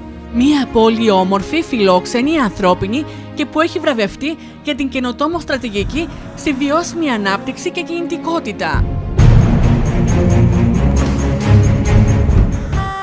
Όμως το κυκλοφοριακό και η έλλειψη χώρων δωρεάν στάθμευσης αυτοκινήτων αποτελούν τα δύο μεγάλα αγκάθια με το πρόβλημα να επιδεινώνεται τους καλοκαιρινούς μήνες. Χάος. Δεν υπάρχει καταρχήν να υπάρχει. Υπάρχει το παρκιδό, πρέπει να ψάξεις παραλία, ψάξει να ψάξει μέχρι τον άλλο δρόμο, τον άγνωστο ή να πάει στο λιμάνι κάτω. Δεν βλέπετε αφόρητη. Να, κοιτάξτε εδώ πέρα τι γίνεται. Εγώ κυκλοφορώ με το μηχανάκι συνέχεια διότι δεν μπορώ να κυκλοφορήσω με τα μάξι. Ο τηλεοπτικός φακός βρέθηκε σε έναν από τους κεντρικότερους δρόμους της πόλης, καταγράφοντας την κατάσταση που επικρατεί, όπως και τις απόψεις των δημοτών. Η Μόατσου μέχρι, μέχρι τη Εμμανουήλ Πορτάλιο θέλει όλη στρώσιμο. Καθίζεσαι είναι από τα μεγάλα φορτηγά. Δεν είδαμε λακκούβε όπως βλέπουμε στο Ηράκλειο εμείς. Όχι. Ελάχιστες, ελάχιστες. Καταρχήν είναι στενή δρόμη και έχουμε την ταβέρνα στο χωριό και δεν σταματάνε τα αυτοκίνητα απ' έξω και δεν, και δεν μπορώ να είμαι το λεωφορείο πάνω. Έχουμε ένα θέμα με το λεωφορείο. Το Γάλλο μας είπατε. Ε, Και το Γάλλο, ναι. Πολίτες εκφράζουν την ικανοποίησή τους για την εικόνα που παρουσιάζει το κέντρο με φόντο τι αναπλάσει, το εκτεταμένο δίκτυο πεζοδρόμων και τους νέους ποδηλατοδρόμους, όμως από την άλλη τονίζουν την ανάγκη βελτίωσης του δοστρώματο σε συγκεκριμένα σημεία της πόλης. Έχουν γίνει έργα, ο Δήμαρχος έχει κάνει έργα, έργα άμα δείτε την πόλη την έχει, έχει πολλές αναπλάσεις, ε, έχουν γίνει σχολεία. Το μεγάλο πρόβλημα είναι το κυκλοφοριακό το καλοκαίρι. Είναι πολύ καλό που κυκλοφορούν αμάξια στην παλιά πόλη του Ρεθύμνου, ελεγχόμενα τουλάχιστον. Απ' την άλλη όμως τα τραπεζοκαθίσματα όσο να είναι εμποδίζουν την κυκλοφορία σε κάποια σημεία. Αλλά χρειάζεται κάτι παραπάνω. Γενικά σε όλους τους τομείς ε, θα μπορούσα να πω. Ωστόσο, δεν λείπουν τα παράπονα για την καθαριότητα και για το δημοτικό φωτισμό σε ορισμένες συνοικίε, ενώ στη διάρκεια του ρεπορτάζ, δημότες από χωριά του Δήμου έθεσαν ζητήματα που τους απασχολούν. Στο Μασταμπάδο του Ψυχουντάκη δεν έχουν φωτισμό. Δεν έχουν φωτισμό. Δηλαδή Καιρό δηλαδή δεν έχει φωτισμό. φωτισμό χρόνια. Δεν υπάρχει φωτισμό. Δηλαδή πρέπει να ανήκαμε με βαστάμενα φακό να προχωράμε στον δρόμο. Άθλια κατάσταση, άθλια κατάσταση σε όλα τα χωριά. Πρόβλημα υπάρχει με το λατομείο. Κοιτάνε να μας φέρουν όλα τα σκουπίδια στους αρμένους. Οι δρόμοι είναι σε καλή κατάσταση; Όχι. Και εγώ μένω κέντρο, είμαι πολύ ικανοποιημένη με την καθαριότητα. Είμαι από το Ηράκλειο που είναι μια βρώμικη πόλη, οπότε εδώ είναι ο παράδεισος. Έχουν ρημάξει τα χωριά Παναγία μου, δεν υπάρχει άνθρωπος, δεν υπάρχει. Τα περβόλια, τα, τα, μικ- τα στενάκια πρέπει να διορθωθούν, να φτιαχτούν.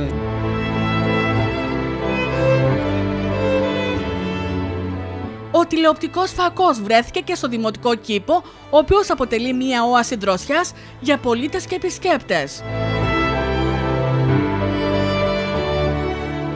Ωστόσο, γονείς τονίζουν την ανάγκη δημιουργίας περισσότερων παιδικών χαρών και στοιχείων πρασίνου στην πόλη. Ε, πιστεύω μήπω χρειαζόνται και άλλες να, φτιάκ, να φτιαχτούν, γιατί δεν υπάρχουν άλλες. Δηλαδή, φτιάχνεται άλλη μία που είναι τώρα στην πλατεία. Οι παιδιές χαρές είναι σε καλή κατάσταση; Ναι, πολύ καλές.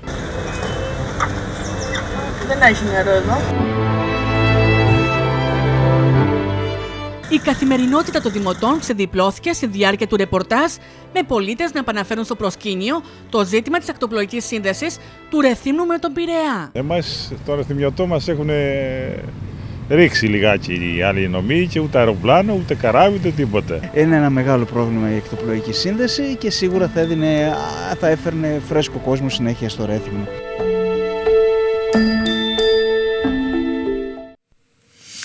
Λοιπόν, πήραμε μια αποτύπωση της στιγμής και ακούσατε και συμπολίτες σας ε, οι οποίοι κάνουν τις δικές τους επισημάνσεις. Καταρχάς, δεν ξέρω αν θέλετε να κάνετε κάποιο σχόλιο επ' αυτών που ακούστηκαν.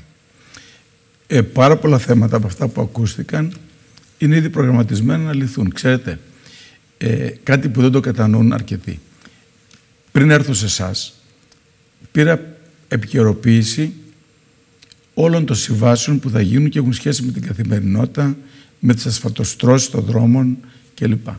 Θέλω να ξέρετε ότι και σήμερα υπέγραψα μια σύμβαση 490.000 και σε μερικές μέρες θα υπογράψω. Όλες αυτές τις συμβάσεις θα εξελιχθούν οι περισσότερες μετά τις εκλογές. Είμαστε τόσο λαϊκιστές εντός εισαγωγικών, θα έλεγα καθόλου λαϊκιστές, που εμείς όλη τη δύναμη της υπηρεσίας μας την έχουμε δώσει για να, εξ- να μπορέσουμε να απορροφήσουμε τα χρήματα που αύριο δεν θα μας τα δώσουν πάλι στο σεντούκι μας. Δηλαδή ο Φιλόδημος, ένα τεράστιο πρόγραμμα, πολύ απαιτητικό και πολύ φιλόδοξο και πολύ πλούσιο, δεν μπορείς να το απεμπολίσεις. Και αντί να δημοπρατούμε τα έργα που ήταν ήδη στο τεχνικό μας πρόγραμμα. Δεν τα έχουμε, προτιμήσαμε να κάνουμε αυτή την επιλογή. Θα σας πω και κάτι άλλο. Υπάρχει και φοβερή γραφειοκρατία. Τα μπετά του 17, χθες πήραμε από τον Επίτροπο, μετά από δύο χρόνια διαμάχη δικαστική των δύο εργολάβων μεταξύ τους, νομιμότητα για να προχωρήσουμε στην συμβασιοποίηση που και αυτή θέλει πάλι μερικές μέρες. Πείτε μου δηλαδή, όμως. εγώ την καθημερινότητα των πολιτών πρέπει να, να καταλάβουμε το εξής. Ότι προφανώς οι κάτω δρόμοι των περιβολίων είναι έτοιμοι. Πρόταση 220.000 και ήδη υπεγράψαμε και γίνονται κάποια πράγματα. Πείτε μου όμως, Ναι. Φαντάζομαι ότι πιάνετε το σφίγμο των ανθρώπων που λένε το κυκλοφοριακό είναι πρόβλημα για μας. Κοίτατε, ο κύριος έλεγε κατεβαίνω λέει με το μηχανάκι και όχι με το αυτοκίνητο. Γιατί; Αφού μπορεί να κυκλοφορεί με το, με το μηχανάκι. Άρα η τάση που έχετε είναι του εξοβελισμού σιγά σιγά Όχι. των οχημάτων από τουλάχιστον τον κεντρικό άξονα της πόλης. Κύριε Σαχίνη, εμείς είμαστε τουριστικός προορισμός και είμαστε από τους κορυφαίους. βέβαια. Οι επισκέπτες μας δεν έρχονται από τη Βομβάη, ούτε από συνθήκες που ένας πλακώνει τον άλλο. Έρχεται από πόλεις οργανωμένες, συγκροτημένες, που λειτουργεί η δημόσια συγκοινωνία, που τους είναι αδιανόητα όλα αυτά που συμβαίνουν πολλές φορές στα κάθε μας. Αν λοιπόν θέλουμε να διαλέξουμε ποιο είναι το επίπεδο τουρισμού που θέλουμε να προσελκύσουμε, θέλουμε να προσελκύσουμε εκείνους που κάνουν χειρότερα από ό,τι εμείς παλιότερες εποχές ή θέλουμε ανθρώπους που να εκτιμούν τον ευρωπαϊκό προσανατολισμό της πόλης; Μάλιστα. Θέλετε όμως και ε, πολίτες, δημότες που διαβιούν 12 μήνες το χρόνο να έχουν τουλάχιστον ως μικρότερο πονοκέφαλο το κυκλοφοριακό. Κοιτάτε, η, η ποιότητα ζωής των πολιτών μας Ναι. είναι πρώτη στο και μετά των επισκεπτών. Δηλαδή, για να είναι ευ- ευχαριστημένος ο επισκέπτης που έρχεται για 10 ημέρες, προϋποθέτει ότι έχει φτιάξει την υποδομή να είναι και ο πολίτης ευχαριστημένος. Το, το κυκλοφοριακό, όπως σας είπα, είναι κάτι πολύ σύνθετο και καθόλου απλό. Καταρχήν θέλει ζωτικό χώρο. Εγώ λέω ένα πράγμα που είναι πολύ χαρακτηριστικό. Ότι είναι η πόλη, είναι όπως το δωμάτιό μας. Εάν είμαστε τσαπατσούλιδες και πετάει ο καθένας ό,τι θέλει, όπου θέλει, δεν χωράει τίποτα. Όταν είναι όλα οργανωμένα και σε τάξη, χωράνε πολύ περισσότερα πράγματα. Και στην πόλη, όταν σεβόμαστε το δικαίωμα του άλλου, δηλαδή οι, οι, χω- οι χώροι στάθμευσης που λένε για δωρεάν, έχουμε φτιάξει, ας πούμε, στη Μαρίνα μέχρι 5 ώρα το απόγευμα το ανατολικό τμήμα είναι δωρεάν. Για όλο τον κόσμο. Η πλατεία δικαστηρίων, το πολωνικό νεκροταφείο στην καρδιά της πόλης, εκεί η πλατεία. Ε, πίσω από την Φορτέτζα, στον Τίμιο Σταυρό, στο, στον Άγιο Σπυρίδωνα, με συγχωρείτε, δωρεάν. Το οικόπεδο φραγάκι που θα μπορούσε να λειτουργήσει ως περιφερειακό πάρκινγκ από τους ερχόμενους από δυτικά της πόλης, να μην χρειαστούν να πάρουν ποτέ αυτοκίνητο να μπουν στην πόλη και ενδεχομένως να ταλαιπωρηθούν. Έχουμε υπολογίσει ότι δεν υπάρχει απόσταση πάνω από 6 λεπτά με τα πόδια που να μην έχει ενδυνάμει ελεύθερη στάθμευση. Δωρεάν. Λοιπόν, πάμε σε μία διακοπή. Περνάει γρήγορα ο χρόνος. Θα επιστρέψουμε γιατί θέλω να σας βάλω επ' αυτών ζητήματα και κυρίως σε πολλά ζητήματα που αναφέρθησαν οι συμπολίτες σας, οι συνδημότες σας. Σύντομη διακοπή και επανερχόμαστε. Επιστροφή στις αντιθέσεις. Κύριε Μαρινάκη, επειδή ο χρόνος κυλώντας αντίστροφα πάει και γρήγορα, έχει γίνει εμβληματικό ως αντιπολιτευτικός λόγος με επιχείρημα η αδιαφορία της Δημοτικής Αρχής για τον περιφερειακό δρόμο. Σε συνέχεια αυτό που λέγαμε για το κυκλοφοριακό. Ε, σε μια σημερινή του συνέντευξη ο κύριος Νίνος λέει μεταξύ άλλων ότι είναι μεγάλη αδιαφορία για την κατασκευή του περιφερειακού δρόμου αλλά και των υπολείπων δρόμων του σχεδίου πόλης.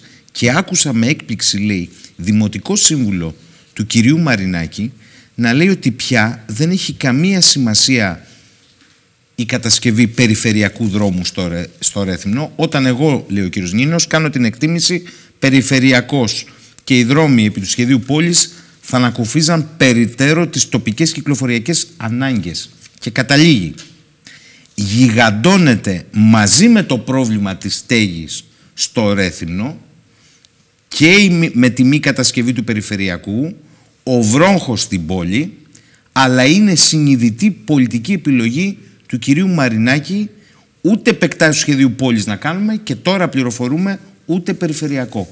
Τι απαντάτε; Θα μου δώσετε χρόνο. Παρακαλώ. Λοιπόν, πρώτον, ο περιφερειακός είναι μια μελέτη την οποία προκήρυξε με χρηματοδότηση του τότε Υπουργού του κ. Σουφλιά ο Δήμος Δευθύμνης επί της δικιάς μου δημαρχίας και την είχε εξασφαλίσει αυτή η χρηματοδότηση ο Δημήτρης Αρχοντάκης. Την, την, επί, την ευθύνη των μελετών την έχει το Υπουργείο και την επιβλέπει η ΕΔΕΚ ΒΟΑΚ. Ο Δήμος Δεθύμνης ούτε αναθέτουσα υπηρεσία είναι, ούτε επιβλέπουσα. Είναι Υπουργείο και τώρα ο ΟΑΚ. Αυτή η μελέτη ξεκίνησε και προέβλεπε να κάνει 3.650 μέτρα περιφερειακό δρόμο που ξεκινούσε από το ΤΕΙ, δηλαδή το, το παλιό πανεπιστήμιο που λέμε, και κατέληγε στον Αγιοβασιλιώτικο δρόμο. Δηλαδή, έμπαιναν τα αυτοκίνητα στην πόλη, ανέβαιναν επάνω, πηγαίναν περιφερειακά και κατέβαιναν. Ε, προέβλεπε επίσης τέσσερις γέφυρες, περίπου 350 μέτρα μήκους. Ξεκίνησαν οι μελετητές, δεν θα αναφερθώ σε ποιους, ανατέθηκε αυτή η μελέτη, ε, γιατί ο κύριος που υπενήσεται, ο δικός μου δημοτικός σύμβουλος είναι ο κύριος Ξεζονάκης, που το θέμα του περιφερειακού το ξέρει πάρα πολύ καλά και συμφωνώ απολύτως με τις απόψεις του. Ε, ξεκίνησε λοιπόν η μελέτη και ξαφνικά υποβάλανε μετά από όταν ολοκλήρωσαν αυτά που θέλουν να κάνουν οι μελετές ότι ξέρετε να συρρυκνώσουμε το αντικείμενο δεν μπορεί να γίνουν 3.600 μέτρα θα κάνουμε μόνο 1.650 άρα δύο περιφερειακός που δεν ήταν ποτέ περιφερειακός θα γίνει ακόμα πιο λιγότερο περιφερειακός και θα ξεκινάει από το Πανεπιστήμιο και θα τελειώνει η Θεοτοκοπούλου. Λοιπόν, αυτό προβλέπει μια έκταση λοιπόν 1650 μέτρα και προβλέπει και μια γέφυρα 108 μέτρων η οποία γέφυρα όπως την προτείνουν οι μελετητές ένας εκ των οποίων είναι και νέος υποψήφιος σύμβουλος του κυρίου Νίνου πρέπει να γίνουν νέες απαλωτριώσεις και να μια ιδιοκτησία κατσάνη να την απαλωτριώσουν κάτι δηλαδή που θα κρατήσει και σε κόστος και σε χρόνο πάρα πολύ. Στον ενδιάμεσο χρόνο επειδή πράγματι υπάρχουν τμήματα που μπορούν να γίνουν, εμείς ήδη έχουμε από τα 1650 ολοκληρώσει τα 450.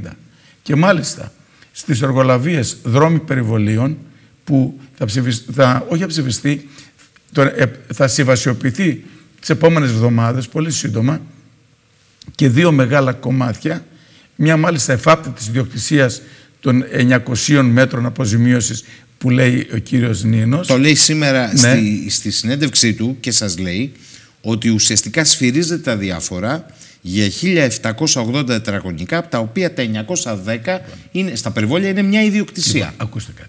Δεν είναι και έτσι. όταν έχουν εισφέρει μάλιστα λέει. Ναι, λοιπόν. Δύο ανακρίβειες. Ελπίζω μη θελημένες. Τα μέτρα προς απαλωτρίωση για αυτό το τμήμα είναι 28.500. Εκ των οποίων 26.000 περίπου είναι στο Πανεπιστήμιο και εκεί είναι ένα θέμα νομικό. Πιστεύω ότι ο Δήμος δεν πρέπει να τα αποζημιώσει μια που θεωρώ λόγω σύγχυσης των δικαιωμάτων αλλά τα εναπομείναντα μέτρα δεν είναι 1.700 που λέει αλλά είναι ακριβώς 2.804.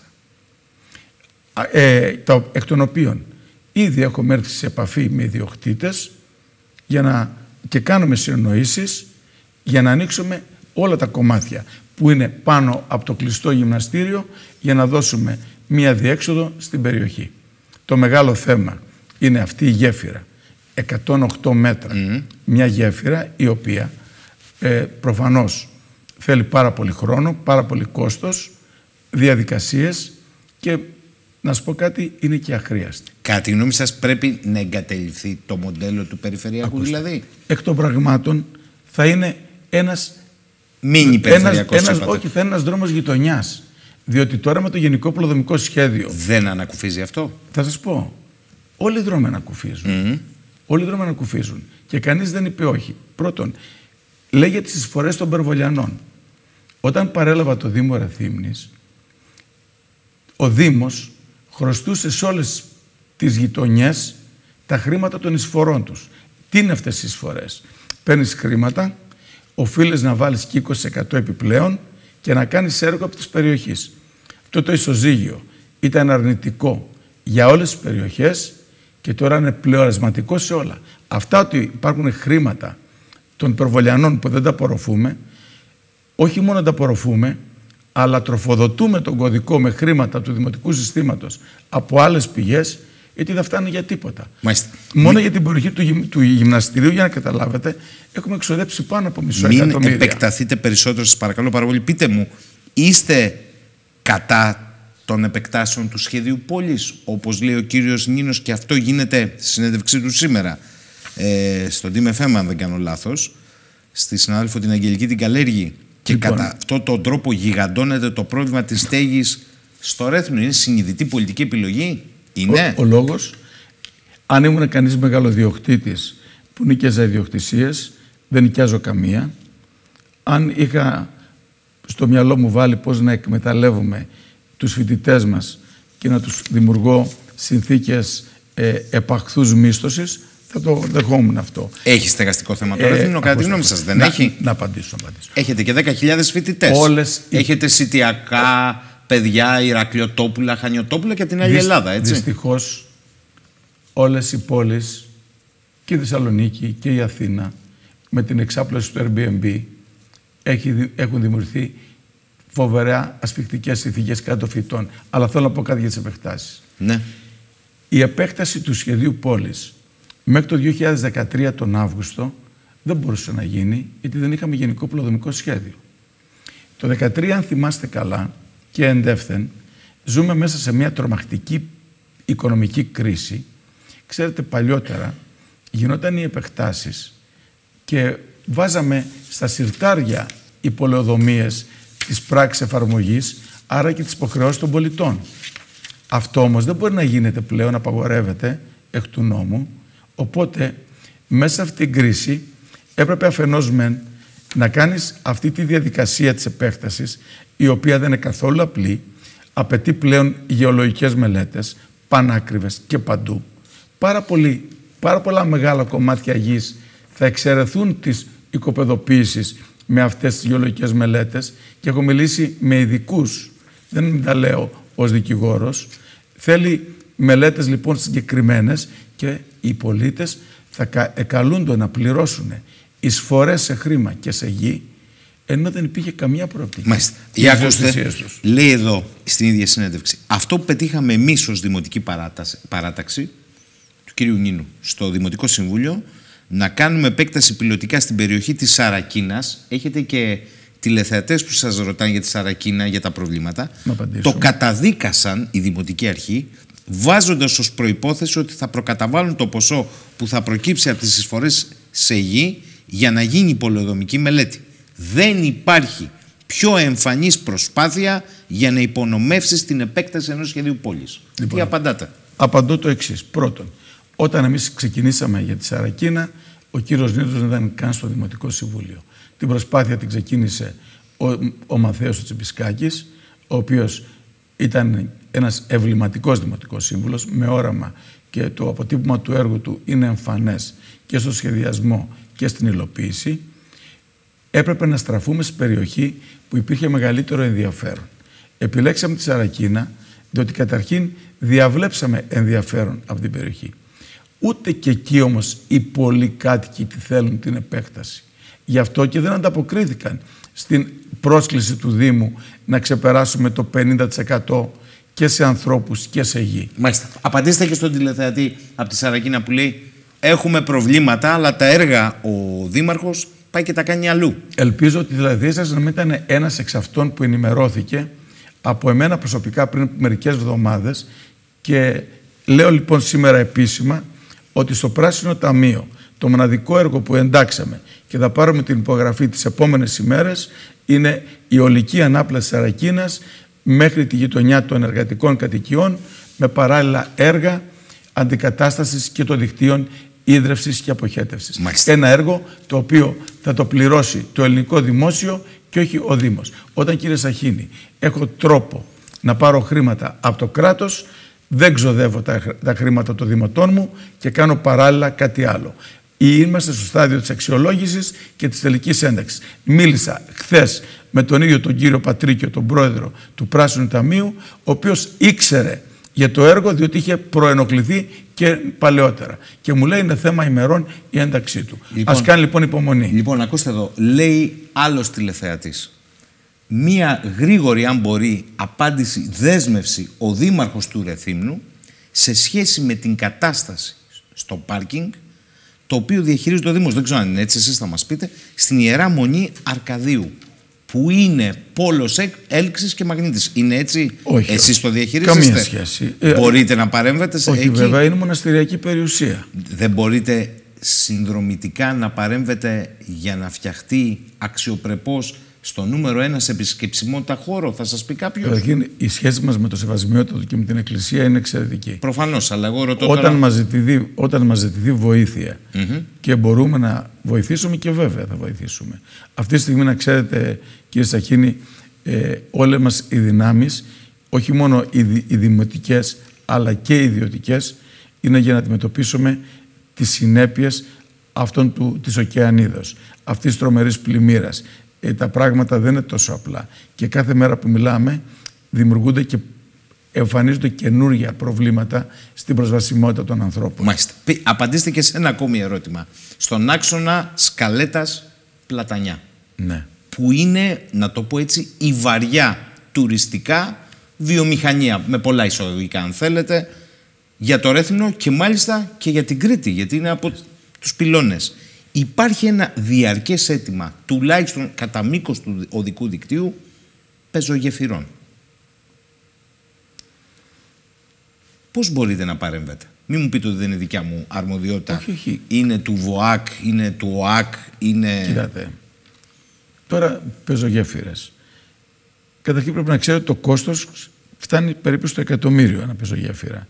Τουλάχιστον σε τιμές προκήρυξης. Γιατί το ψάξαμε για το ναι. σχολείο Σταυρωμένου και καταλήξαμε ότι μας συμφέρει να γίνει καλύτερα ένα έργο με διαμόρφωση κόμβου παρά να κάνουμε αυτό το οποίο δεν είναι και ότι καλύτερο σαν λογική.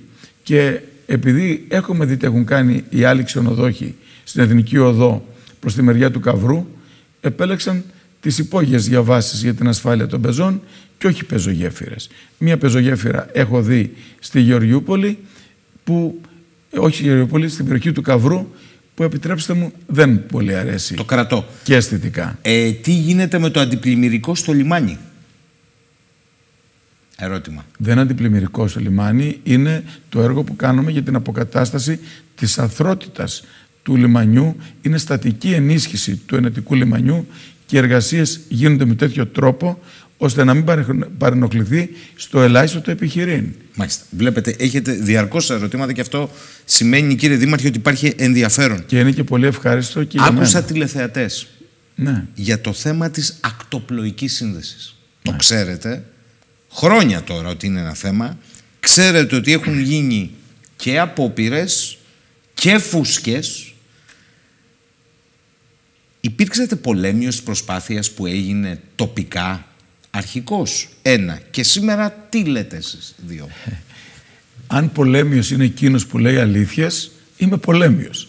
Ξέρετε, πώς σας φαίνεται εσάς να είναι στο καταστατικό γραμμένο ότι για τις αποφάσεις της μίζωνες πρέπει να λαμβάνουν γνώση οι αιρετοί, οι αντιπεριφερειάρχες, ο δήμαρχος, ο δεσπότης και μας ουδέποτε μας κάλεσε σε αυτή τη συνεδρίαση για να δούμε τι φιάσκο ετοίμαζε συγκεκριμένος πρωταγωνιστής.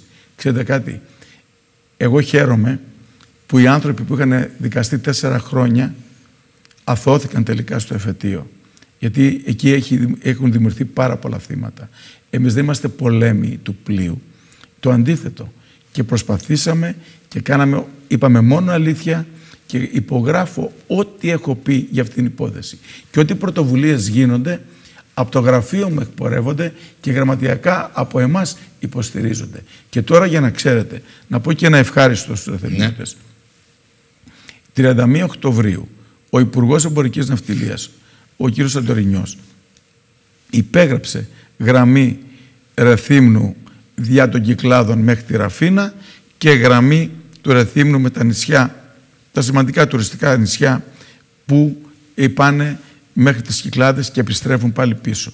Όπως επίσης είμαι σε διαρκή επικοινωνία με τον Δήμαρχο της Μήλου και χθες μιλήσαμε, γίνεται μια προσπάθεια να διασυνδεθεί το Ρέθυμνο και ο Πειραιάς διά της Μήλου. Είναι και μια συνεδρίαση την επόμενη Τετάρτη. Ελπίζω να βρεθεί ένα αξιόπιστο πλοίο που να ικανοποιήσει τις πραγματικές ανάγκες του Ρεθύμνου. Εμείς, ε, εγώ, ξέρετε κάτι, έχω στοχοποιηθεί. Εγώ σας άκουσα σε μία... Ναι, έχετε στοχοποιηθεί. Να πω το εξής. Η άποψή μου είναι άποψη και των βουλευτών και εκεί δεν υπάρχει καμία διαφωνία και της κυρίας Λιονή και του Σεβασμιότατου. Δεν λέω τίποτα περισσότερο ή λιγότερο εγώ από εκείνους. Επιλέχθηκα και κάθε φορά που είναι προεκλογική περίοδος ε, διαλέγεται αυτό το θέμα για το οποίο κάποιοι πρέπει να απολογηθούν. Και αν πραγματικά λειτουργούσε το εισαγγελικό σύστημα με την έννοια ότι επιλαμβάνεται όλων των πραγμάτων, κάποιοι θα έπρεπε να είχαν και λογοδοσία με τη δικαιοσύνη. Άρα λέτε, εκείνος άλλο δε, η- ένα λεπτό μας, εκείνος που σε μένα τόλμησε να κάνει μήνυση, δεν είπε ποτέ, είπε τη μήνυση που μου έκανε, ότι μπήκε στα σκουπίδια από την εισαγγελία, είπε ποτέ. Άρα, λέτε, προφανώς και είμαι μπροστά έως δήμαρχος της πόλης αυτής για την ακτοπλοϊκή σύνδεσή της, παντή τρόπο. Είναι άλλο αυτό, λέτε, και άλλο το εγχείρημα του παρελθόντος που ήταν μία φούσκα. Το που την ομολογούν, πάτησε ξέρετε, κόσμος. οι άνθρωποι την έχουν πατήσει, έχουν εμπλέξει, χαθήκαν περιουσίες, φέραν ένα σαπιοκάραβο χιλιοτρύπητο που δύο φορές έμεινε στο πέλαγος, στα όρια της εγκατάλειψης και τελικά κάηκε μέσα στο λιμάνι.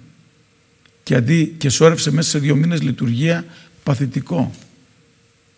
Ποιοι το πληρώσαν αυτό; Ξέρετε, κάποιοι μεταθέτουν τις ευθύνες τους. Εγώ όμως είμαι πάρα πολύ καλά ότι ο Γιώργος ο Δούσμανης, ας πούμε, ένα από τα θύματα αυτή της, αυτής της προσπάθειας, με θεωρεί φίλο του και ξέρει αν βοήθησα και δικαστικά να, όχι ότι έκανα κάτι σημαντικό, μια συμβουλή, είπα δύο πράγματα, για να απεμπλακούν κάποιοι άνθρωποι όσο μπορούν και άλλοι από αυτούς που έχουν εμπλακεί σε αυτήν την υπόθεση, σε αυτή την περιπέτεια, είναι φίλοι μου. Θέλω να πάμε μαζί να δούμε ένα ρεπορτάζ ακόμη, αυτή τη φορά πιο στοχοθετημένα στην Παλιά Πόλη. Πάλι από τη Γεωργία Μακάκη.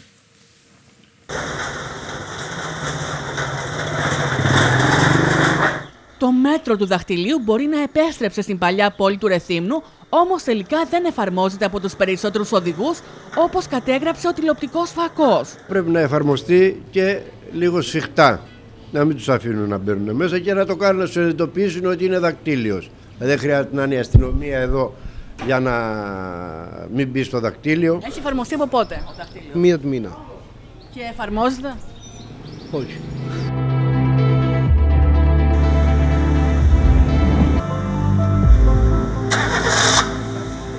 Δημότες διαμαρτύρονται για τη στάθμευση αυτοκινήτων στους στενούς δρόμους, περιγράφοντας παράλληλα την ταλαιπωρία τους για την εξασφάλιση μιας θέσης στάθμευσης για τα οχήματά τους. Ε, θα έπρεπε για τους κατοίκους της παλιάς πόλης, αυτός ο δρόμος τουλάχιστον η Μελισσινού, να, έπρεπε, να δίνεται εκ προετροπή για τους μόνιμους κατοίκους.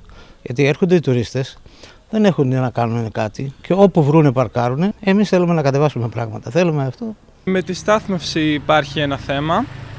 Δηλαδή παίρνει αρκετή ώρα να βρεθεί θέση. Στη διάρκεια του ρεπορτάζ, επαγγελματίες εξέφρασαν τη δυσαρέσκειά τους και τις ανύπαρκτες τουαλέτες. Να κάνουν τουαλέτες.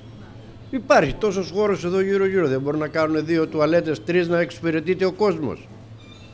Τη βλέπεις την άλλη την κακομοίρα και έρχεται και σου λέει τουαλέτα. Εντάξει, δεν υπάρχουν, δεν βάζουν τουαλέτες, δεν ξέρω το λόγο και αυτά. Είναι πολύ μακριά από εδώ που βρισκόμαστε μια δημοτική τουαλέτα. Ε, ναι, είναι στο κέντρο πάνω. Στο, κέντρο. Παράλληλα, αρκετοί επαγγελματίες τονίζουν την ανάγκη τοποθέτησης μικρών κάδων ώστε οι τουρίστες να αναποθέτουν τα σκουπίδια τους. Από ό,τι είδαμε, δεν υπάρχει ένα καλαθάκι για να πετάξεις κάτω. Αυτό πολύ καλά το έκανες και το πες. Δεν υπάρχει ένα καλαθάκι. Εγώ είχα φέρει εδώ ένα καλαθάκι και το βάζα μέσα, το αποτέλεσμα μου το πήραν το βράδυ. Οι τουρίστες τον βλέπει τον καημένο και το κρατάει το μπουκάλι και ψάχνει αναγωνίως πού θα τα αφήσει. Και βλέπω και τους τουρίστες πολλές φορές και δυσανασχετούν. Ακόμη δημότες επισημαίνουν τους κινδύνους που ολοχεύουν για τους πεζούς από τους οβάδε που πέφτουν από παλιά κτίρια και όχι μόνο. Ε, τι μόρο, πα- επικίνδυνα, να σκοτωθούμε.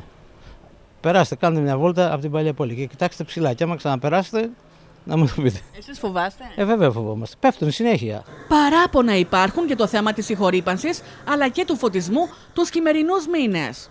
Τα τελευταία χρόνια έχουν, φύγει, έχουν αποχωρήσει πολλοί κάτοικοι εδώ την παλιά πόλη. Ε, πάνε μας στα χωριά φεύγουν. Πάνε στα χωριά. Τον συμφέρει τον άλλο. Έχουν γίνει τα νίκια εδώ πέρα Παναγιά Βοήθα. Έχω κι εγώ ένα σπίτι πά στην παλιά πόλη, μα δεν μένω. Λόγω ηχορύπανσης. Ε, μπορούσα να κοιμηθώ. Ο τηλεοπτικός φακός βρέθηκε και στη Φορτέτζα. Τα τείχη του μνημείου έχουν αφαιθεί στη θωρά του χρόνου, με πολίτες και επισκέπτες να σχολιάζουν την εγκατάλειψη.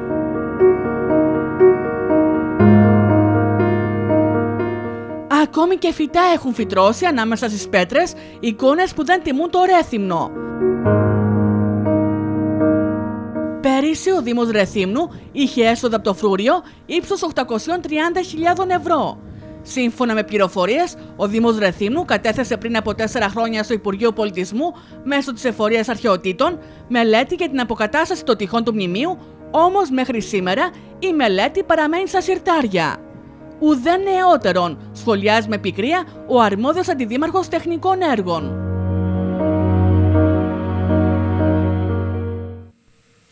Λοιπόν, κύριε Δημαρχέ, θα πάμε με αυτή την ενότητα στην τελευταία διακοπή. Για πείτε μου, καταρχάς, ο δακτύλιος από 1η Απριλίου, αν δεν κάνω λάθος, ε, τίθεται πάντα σε ισχύ. Υπάρχει ένα θέμα. Άκουσα τους συνδημότες σας που λένε πιο σφιχτή πολιτική εδώ; Λοιπόν, ακούστε. Έχουμε εικόνα ποιος παραβιάζει το δακτύλιο. Το 90% της παραβατικότητας είναι οι άνθρωποι που δουλεύουν σε επιχειρήσεις. Εκείνοι που θα πρέπει να το προστατεύουν. Και μάλιστα είναι καταγεγραμμένοι στις κάμερες που υπάρχουν. Που η αστυνομία, που είναι διασυνδεμένη και μόνο αυτή με αυτό το σύστημα, δεν θέλει να κόβει κλήσεις μέχρι στιγμής, περιμένοντας μια πιστοποίηση που δεν χρειάζεται γιατί υπάρχει ευρωπαϊκή οδηγία. Υπάρχει μια δικογνωμία, την πληροφορήθηκα σήμερα, θα επισκεφτώ το γύρο διοικητή, ο οποίος είναι εξαιρετικός, να το συζητήσουμε το θέμα μαζί. Άρα αυστηροποιείται το πλαίσιο; Όταν ξέρει ο κάθε παραβάτης. Γιατί κοιτάτε, βλέπω τώρα εδώ τα τείχη. Μετά, Μα- μετά, πείτε μου Ναι. για το δακτυλιό, θα τα ξαναδείτε. Ναι, ωραία. Σας λέω λοιπόν ότι την πρώτη μέρα και τη δεύτερη μέρα είναι λογικό. Ούτε καν δεν το είχαν συνειδητοποιήσει ότι ο δαχτύλιος μπήκε. Και επειδή ακόμα δεν είμαστε και στην καρδιά της τουριστικής περίοδου, είναι κάποιοι θέλουν να κάνουν πώς δεν το κατάλαβαν ακόμα, ότι ο δαχτύλιος λειτουργεί. Εχθές όμως, σε ραδιοφωνική εκπομπή του 980 υπόθηκε, ευθαρσώστε τον κύριο Κορνάκη, ότι ναι, λειτουργεί ο δακτύλιος. Υπάρχει και παραβατικότητα, αλλά υπάρχει όμως και τάξη. Εμείς είμαστε αυτή τη στιγμή όχι ικανοποιημένοι, αλλά βλέπουμε βελτιούμενη την εικόνα όλο ένα και περισσότερο. Μάλιστα. Μετά, Πείτε μου τουαλέτες. οι τουαλέτες είναι ένα μεγάλο πόνεμα. Και καταλάβετε το εξής. Δεν είναι τόσο μακριά οι τουαλέτες όσο λένε. Στη Μεγάλη Πλατεία, μέσα στο ιστορικό κέντρο, υπήρχαν τουαλέτες και υπάρχουν τουαλέτες. 7 ή 8 φορές τις κατέστρεψαν με σφυρί. Αυτό πρέπει να συνοδευτεί με μια αστυνόμευση. Ξέρετε, βάζουμε στο Δήμο ευθύνες σε πράγματα που δεν μπορεί να τα ελέξει. Τις, κα... τις διαλύουν κυριολεκτικά. Μάλιστα. Μικρή κάδη, έλλειψη. Θέλει κα- η μικρή κάδη θέλει κάποιος να ρίξει το χαρτάκι. Ναι, κοιτάτε. Οι μικροί κάδοι καταρχήν όλοι τους θέλουν λίγο πιο πέρα από το δικό τους μαγαζί. Και θα πω και το εξής. Εγώ είμαι, είμαι κυκλο- Αυτό δεν σημαίνει ότι δεν επιχειρούμε Όχι, να συγγνώμη, τους συγγνώμη. βάλουμε. Καταρχήν θα ξέρετε ένα πράγμα. Ναι, ναι. Ότι στην Ευρώπη η λογική των μικρών κάδων εγκαταλείπεται. Ο καθένας είναι υποχρεωμένος να διαχειρίζεται το απόρριμά του. Εγώ δεν κατάλαβα ότι κυκλοφοράει κάποιος με μπουκάλι στο δρόμο και δεν λέει πού να το βάλει. Αυτό δεν το κατάλαβα, δηλαδή το παράδειγμα που υπόθηκε. Ή το αποτσίγαρό του ή το χαρτάκι του. Αυτά τα πράγματα και μην ακούτε ότι δεν υπάρχουν κάδοι. Υπάρχουν. Αλλά δεν μπορεί να είναι τόσο αραιά. Α πούμε στην παλιά πόλη, στην Αντιστάσιο, στην Αρκαδίου, σε όλους τους δρόμους υπάρχουν κάδοι. Ξέρετε ότι για ένα κάδο έγινε ολόκληρη ραδιοφωνική εκπομπή Εντάξει, κα- κατά αυτό του συμβαίνει Δημάρχου. σε όλες τις πόλεις. Από την άλλη, Όπως όμως, επίσης ξέρετε ότι όταν οι- οι ίδιοι- πλημμυρίζεται με κόσμο, ιδίως στου καλοκαιρινούς μήνες, αντιλαμβάνεστε. Δεν έχουν πρόβλημα οι τουρίστες. Οι τουρίστες ξέρουν να διαχειρίζονται τα απορρίμματά τους. Θα σας πω το εξής. Κάντε λοιπόν ένα ρεπορτάζ με την εξαιρετική δημοσιογράφο που κάνει το προηγούμενο, εκεί που είναι κάδι, έξω από καταστήματα εστίασης ή fast food. Να δείτε ποια προϊόντα, τι περιέχουν οι κάδοι. Των περαστικών, τα απορρίμματα ή των μαγαζιών που Μάλιστα. βαριόνται να πάνε στον κάδο. Τι λέτε για την ηχορύπανση και το φωτισμό; Η, καταρχήν ο φωτισμός της παλιάς πόλης είναι σε, δεν είναι σε κακή κατάσταση, για το όνομα Θεού. Πρόσφατος είναι. Για όλη την πόλη όμως Ναι. και για όλους τους οικισμούς έχουμε μια μελέτη οδοφωτισμού που αντικαθιστούμε όλα τα φωτιστικά. Είναι ένα έργο περίπου 6 εκατομμυρίων με LED. Δηλαδή εξοικονόμηση ενέργειας, καλύτερη ποιότητα. Ηχορύπανση. Την ηχορύπανση τη δημιουργεί η παραβατικότητα της παλιάς πόλης. Και σας λέω, η καταγραφή δείχνει ότι το 85% γίνεται από τους απερχόμενους σερβιτόρους και επιχειρηματίες εστίασης και διασκέδασης της παλιάς πόλης όταν κλείνουν τα μαγαζιά τους. Ε, και ελάτε στα τείχη. Ο αρμόδιος, το συγκράτης αντιδήμαρχος τεχνικών, λέει ότι δυστυχώς η μελέτη δεν έχει προχωρήσει αρμοδίως. Το φρούριο τελεί υπό την εποπτεία της υπηρεσίας. Σωστό. Να ξέρετε όμως για να μην είμαστε άδικοι ότι και πέρυσι καθαρίστηκαν τα τείχη. Αυτή εδώ η εικόνα τυχών δεν είναι κακή. Μάλλον δεν έχουν πάει στη Μονοβασιά, στην Πελοπόννησο. Μπορούσε να είναι και καλύτερη όμως λένε κάποιοι. Ε, σας λέω λοιπόν Εισπράτε εγώ- το 830.000 ευρώ. Κοιτάτε. Ισχύει αυτό το ποσό; Ξεκίνησε από 280, ξέρετε. Και αυτό μια επιτυχία της Δημοτικής Αρχής είναι. Δεν τα βρήκαμε έτοιμα. Με πολύ καλό σκοπό. Και να θέλω να παρεύω, αν δεν εγκριθούν οι μελέτες από την Αρχαιολογική Υπηρεσία, δεν μπορώ να κάνω τίποτα. Αλλά αυτό εδώ δεν είναι εικόνα που μου λέει ότι εδώ υπάρχει ερήπωση. Προφανώς έκαναμε τη μελέτη για να γίνει πλήρης καθαρισμός. Σας λέω όμως ότι και εκεί που έγινε τα χόρτα αναφύονται. Δεν είναι τόσο τραγική η εικόνα. Και θα έλεγα μάλιστα ότι υπάρχουν άλλες πλευρές των τυχών που δεν δείξατε, που εκεί πράγματι είναι πιο επιτακτική η ανάγκη να παρεύουμε. Ελπίζω αυτή η μελέτη... Χαίρομαι που το λέτε αυτό. Μα βέβαια. Ωραία. Μα δεν είμαστε αδιάφοροι. Άλλωστε το φρούριό μας είναι ζωντανός οργανισμός, ενταγμένος μέσα στη ζωή της πόλης, που μάλιστα θα αναπτυχθούν τώρα και προσπαθούμε να κάνουμε ένα κατάστημα υγειονομικού ενδιαφέροντος, ώστε να έχει και μεγαλύτερη επισκεψιμότητα και περισσότερες ώρες. Λέει εδώ ένας ε, ακροατής. Στην πλατεία Μικρασιατών η Δημοτική Αρχή αντιλαμβάνεται με τα άτομα που συνοθούνται εκεί το πρόβλημα που υπάρχει; Να το αντιληφθεί η αστυνομική αρχή αυτό. Εμείς όλα τα αντιλαμβανόμαστε, αλλά δεν έχουμε καμιά... Ξέρετε, στους χώρους, τους δημόσιους χώρους, δεν μπορεί να κάνεις προληπτική απαγόρευση. Ε, προφανώς. Έτσι. Ούτε μπορείς... Σκέφτεστε να αλλάξετε ίσως τον τρόπο δράσης; ετοιμάζομαι, Ναι. ετοιμάζομαι να γίνει ένα περίπτερο που να σέβεται το περιβάλλον, ξύλινο, που να είναι στην ουσία ένα μάτι στην πλατεία από ένα επαγγελματία, ο οποίος θα έχει και την ευθύνη και την εποπτεία και της λειτουργίας των τουαλετών που μέχρι τώρα όποτε τις αφήσαμε ξεκλείδωτες τις κατέστρεψαν. Δεν μου λέτε κύριε Μαρινάκη, ισχύει αυτό που λένε εδώ οι τηλεθεατές, ότι από το Ρέθινο είναι, Ναι. ότι έχει μετατραπεί σε στέκη τοξικομανών, η οποία είναι μια κατηγορία συμπολιτών με σοβαρό πρόβλημα. Δεν είναι ισχύει αυτό; ε, δεν αποκλείω, όχι δεν αποκλείω, είναι πολύ πιθανόν με τα μεσονύχτιες ώρες, αλλά νομίζω ότι είναι μια πολύ καλή πληροφορία για εκείνους που έχουν την εξουσία και την ευθύνη να αντιμετωπίζουν αυτά τα φαινόμενα. Μάλιστα. Θέλω να πάμε στην τελευταία διακοπή. Θα επιστρέψουμε για το τελευταίο μέρος μαζί σας. Σύντομη διακοπή και επανερχόμαστε. Επιστροφή σε αντιθέσεις, τελευταίο μέρος απόψε, με φιλοξενούμενο τον Δήμαρχο Ρεθύμνου και εκ νέου υποψήφιο Δήμαρχο, τον κύριο Γιώργο Μαρινάκη. Κύριε Μαρινάκη, προτείνω να δούμε.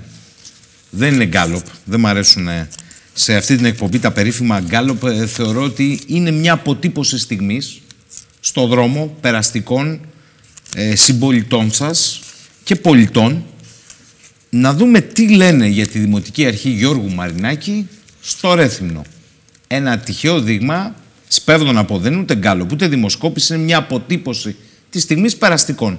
Αν πέσαμε πάνω σε πρόσωπα που έχουν αποφασίσει ότι δεν θα στηρίξουν Μαρινάκη ή έχουν αποφασίσει ότι θα στηρίξουν Μαρινάκη, αυτό δεν λέει τίποτα, δεν μετρήσαμε τις γνώμες, πιστέψτε με και εσείς και οι τηλεθέατες. Είναι ένα τυχαίο δείγμα.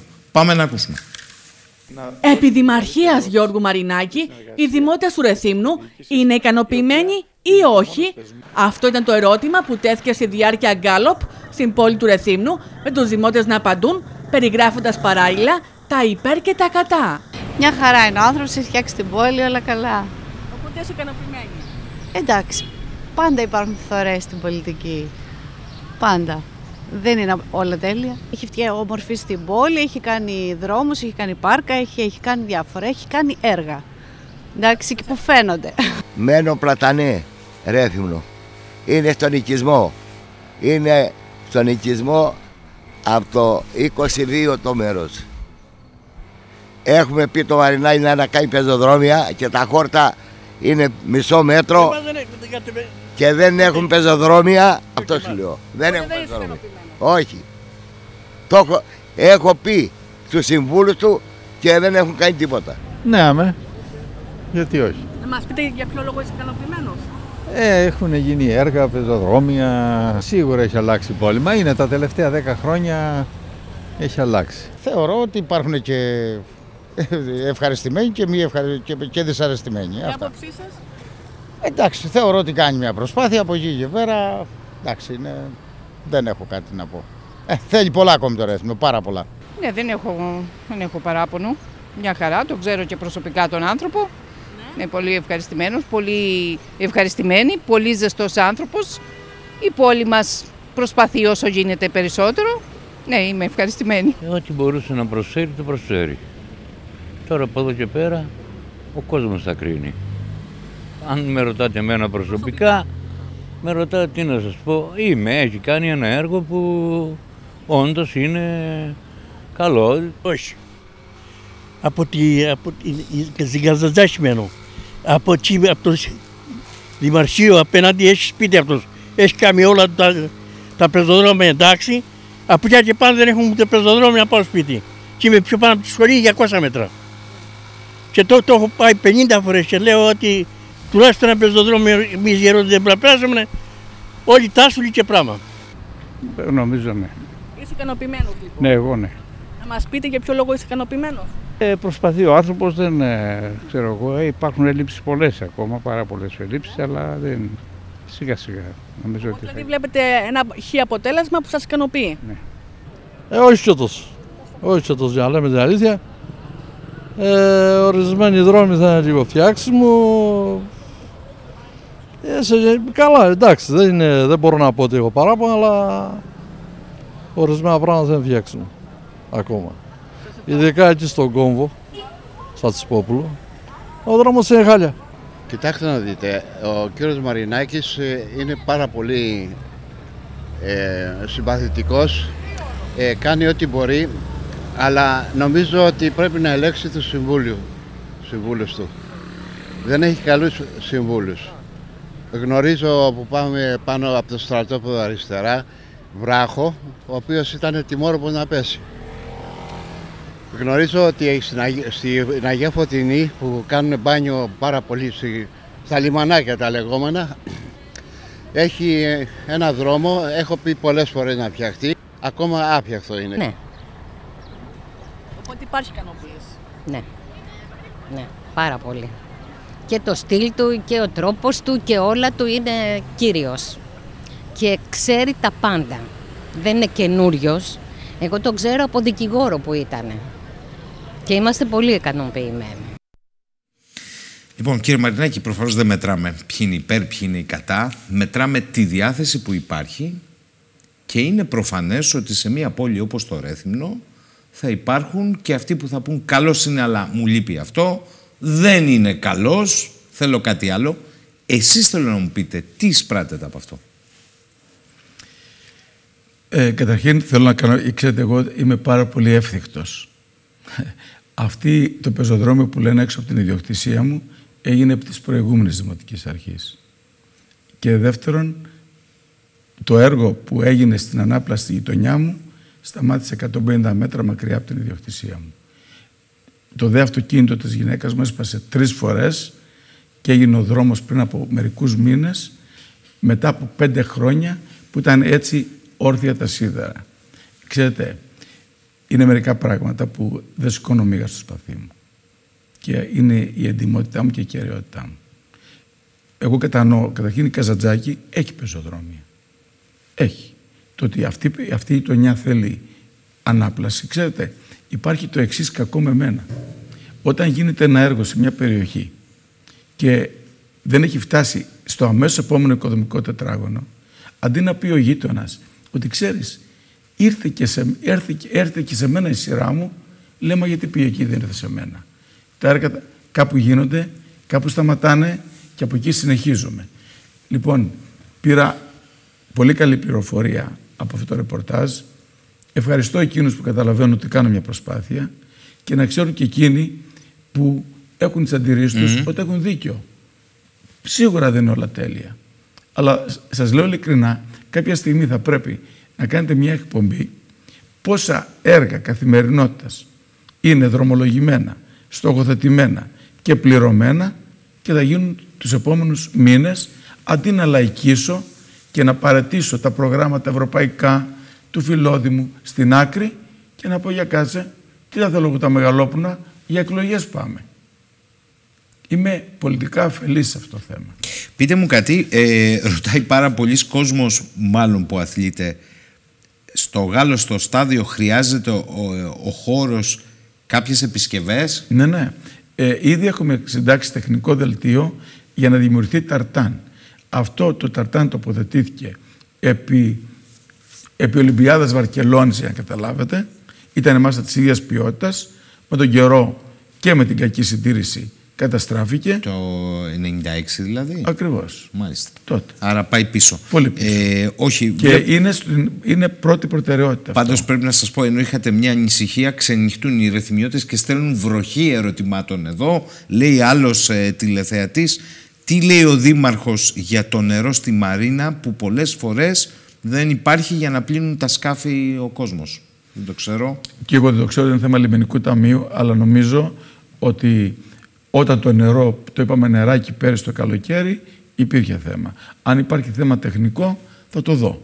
Πάντως η πρόεδρος είναι πάρα πολύ δραστήρια και νομίζω ότι γενικά όλη η περιοχή νοικοκυρεύεται. Για πείτε μου, τι θα γίνει με τα τραπεζοκαθίσματα; Στο ενετικό λιμάνι.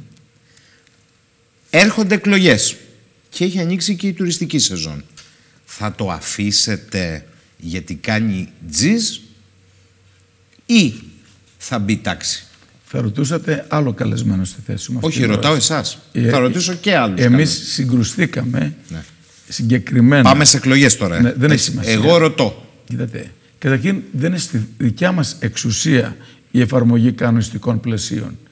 Απεφάθη του Υπουργείου Πολιτισμού, δέχτηκε το ΚΑΣ, ε, το ΚΑΣ έκανε μια εισήγηση, η, είχε προηγηθεί μια μελέτη του Λιμενικού Ταμείου, καταστάλαξε, νομίζω ότι έχουν συμμορφωθεί οι πλήστοι επαγγελματίες και μάλιστα όσοι δεν είναι πολύ εγωιστές πρέπει να ομολογήσουν ότι και οι τζίροι τους αυξήθηκαν και η εφταξία του λιμανιού βελτιώθηκε και ο κόσμος κυκλοφορεί πάλι στο ενετικό λιμάνι. Άρα δεν έχει ένα βήμα μπρος, δύο πίσω εδώ σε αυτή την περίπτωση.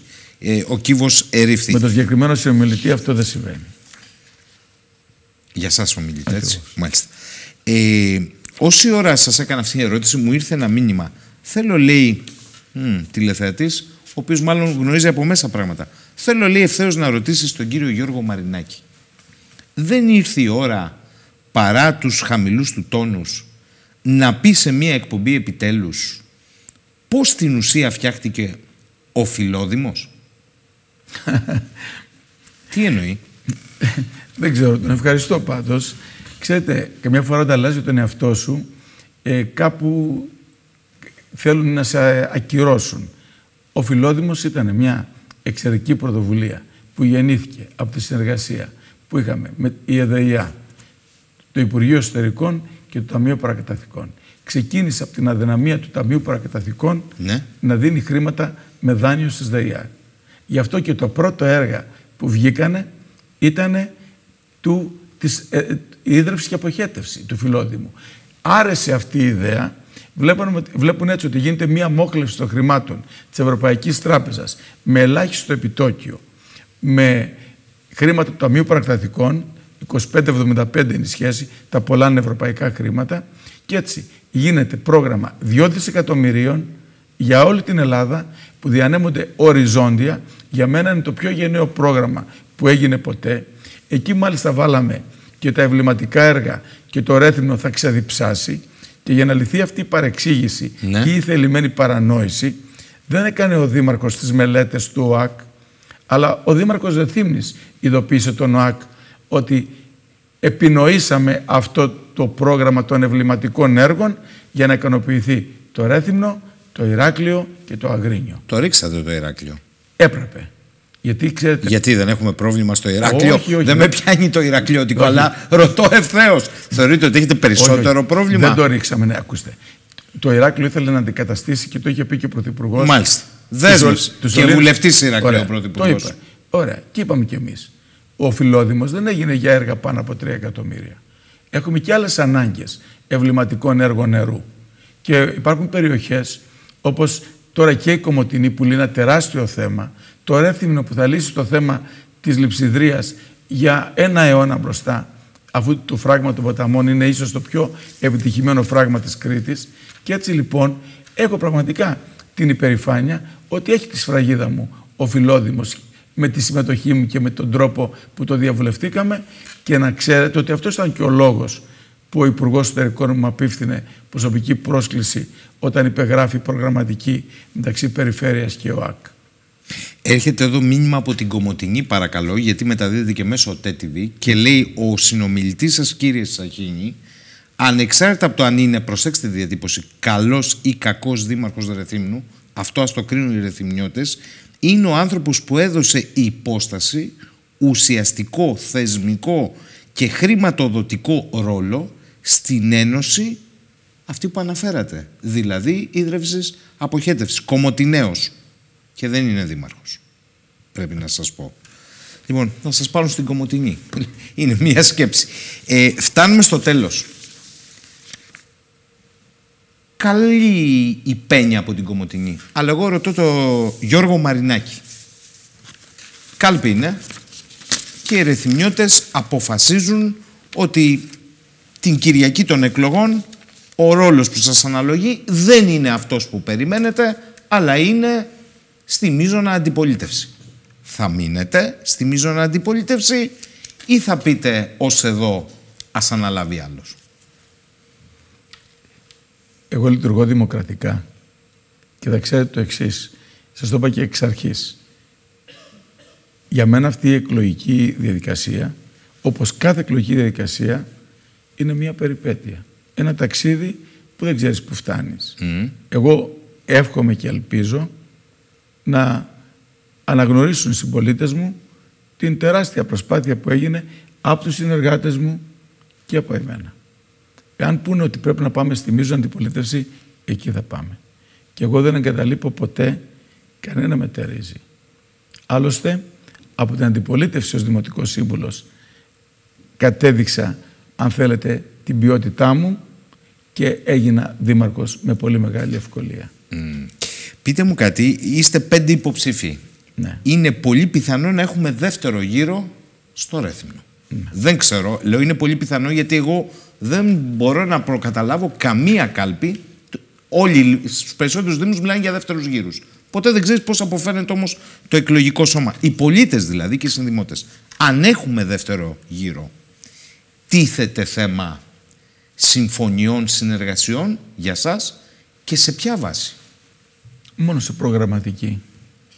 Δηλαδή πρέπει να διασφαλίσουμε και γι' αυτό εγώ επέμεινα και νωρίτερα ότι έπρεπε αυτές οι συζητήσεις να γίνουν τώρα και όχι μέσα σε έξι μέρες υπό την πίεση γεγονότων και καταστάσεων. Εν πάση περιπτώσει, κοιτάτε, όπως είναι σήμερα τα πράγματα, επειδή γνωριζόμαστε, εγώ δεν λέω ότι οι άλλοι συνδυασμοί δεν έχουν άξιους και ικανούς ανθρώπους. Ποθενά δεν το διανοήθηκα να το πω αυτό το πράγμα. Και μάλιστα λέω ότι όλοι αυτοί που συμμετέχουν στα κοινά, ανεξαρτήτως παράταξης, εξαιρουμένων συγκεκριμένων κραυγαλαίων περιπτώσεων, είναι άνθρωποι ανιδιοτελείς και με διάθεση προσφοράς. Θα προσπαθήσουμε να συνοηθούμε με τους καλύτερους. Δεν αποκλείουμε κανένα από αυτή τη διαδικασία. Όπως, ναι. όπως επίσης εμείς είμαστε εκείνη η παράταξη που έχει γνώση τι σημαίνει να διοικείς και όταν εμείς αντιπολιτευόμαστε ήταν σαν να συμπολιτευόμαστε. Γιατί τότε μόνο μπορείς να γίνεις συμπολίτευση. Το μεγάλο μου παράπονο είναι και αν θέλετε και η ένστασή μου από τον τρόπο που διαχειρίζεται αντιπολίτευση στα θέματα του Δήμου είναι ότι δείχνει ότι δεν κατανοεί την προσπάθεια που χρειάζονται να γίνουν κάποια πράγματα. Πείτε μου κάτι, αυτή η προγραμματική λέτε συνεννόηση, σε αυτή τη βάση συζητώ στο δεύτερο γύρο, έχει και πρόσημο; Πολιτικά ένα. Δεν θα ήθελα από τώρα να πω κάτι που για μένα δεν έχει νόημα. Ξέρετε, μπορεί αύριο να είναι έτσι τα πράγματα δια, ε, ε, διατεταγμένα που να υπάρχουν μονόδρομοι. Που να χρειάζονται περισσότερες των μία, των, της μιας παράταξης για συνεννόηση. Συνενέσεων και συνενώσεων. Και να πω και κάτι. Εμένα η άποψή μου είναι ότι δεν μπορεί μια πλειοψηφία να είναι οριακή της μίας ψήφου. Αυτό είναι προβληματικό για την όλη λειτουργία του συστήματος. Άρα, εγώ θα ήθελα να πω το εξής. Ευρύτερες πλειοψηφίες, λέτε. Εμένα η διάθεσή μου ήταν πάντα να δημιουργηθούν ευρύτερες πλειοψηφίες. Και ίδια, ο ίδιος ο συνδυασμός μου αποδεικνύει ότι οι άνθρωποι που ξεκινάνε από διαφορετικούς πολιτικούς χώρους μπορούν να συνοούνται. Και αν κάτι κατάφερε η δημοτική μου, αν θέλετε, θητεία είναι να καταδείξει ότι δεν έχει σημασία ποια είναι η κυβέρνηση και ποιος κυβερνά. Σημασία έχει αν έχεις προτάσεις, αν ξέρεις να διεκδικείς, αν μπορείς να πείθεις και αν μπορείς να προγραμματίζεις και κανείς δεν είναι ανόητος, ούτε υπουργός, ό,τι υπουργός και να είναι, οποιασδήποτε κυβέρνησης, να μην ακούει τη σωστή πρόταση και να την κάνει και δική του και να αποφελείται πολιτικά. Ε, είπα ότι κλείνουμε, αλλά εδώ έρχεται ένα μήνυμα ομάδας τηλεθεατών και μου λέει, απευθύνεται και σε μένα, κύριε Σαχίνη, ντροπή, η αποκριά είναι θεσμός στο Ρέθυμνο, πρέπει να ρωτήσετε πριν κλείσετε το Δήμαρχο τι θα γίνει με την αποθήκη, τη νέα αποθήκη αρμάτων; Ε, νομίζω ότι είναι σταθερή η άποψή μου ότι πρέπει να γίνει. Τα χρήματα τα έχουμε.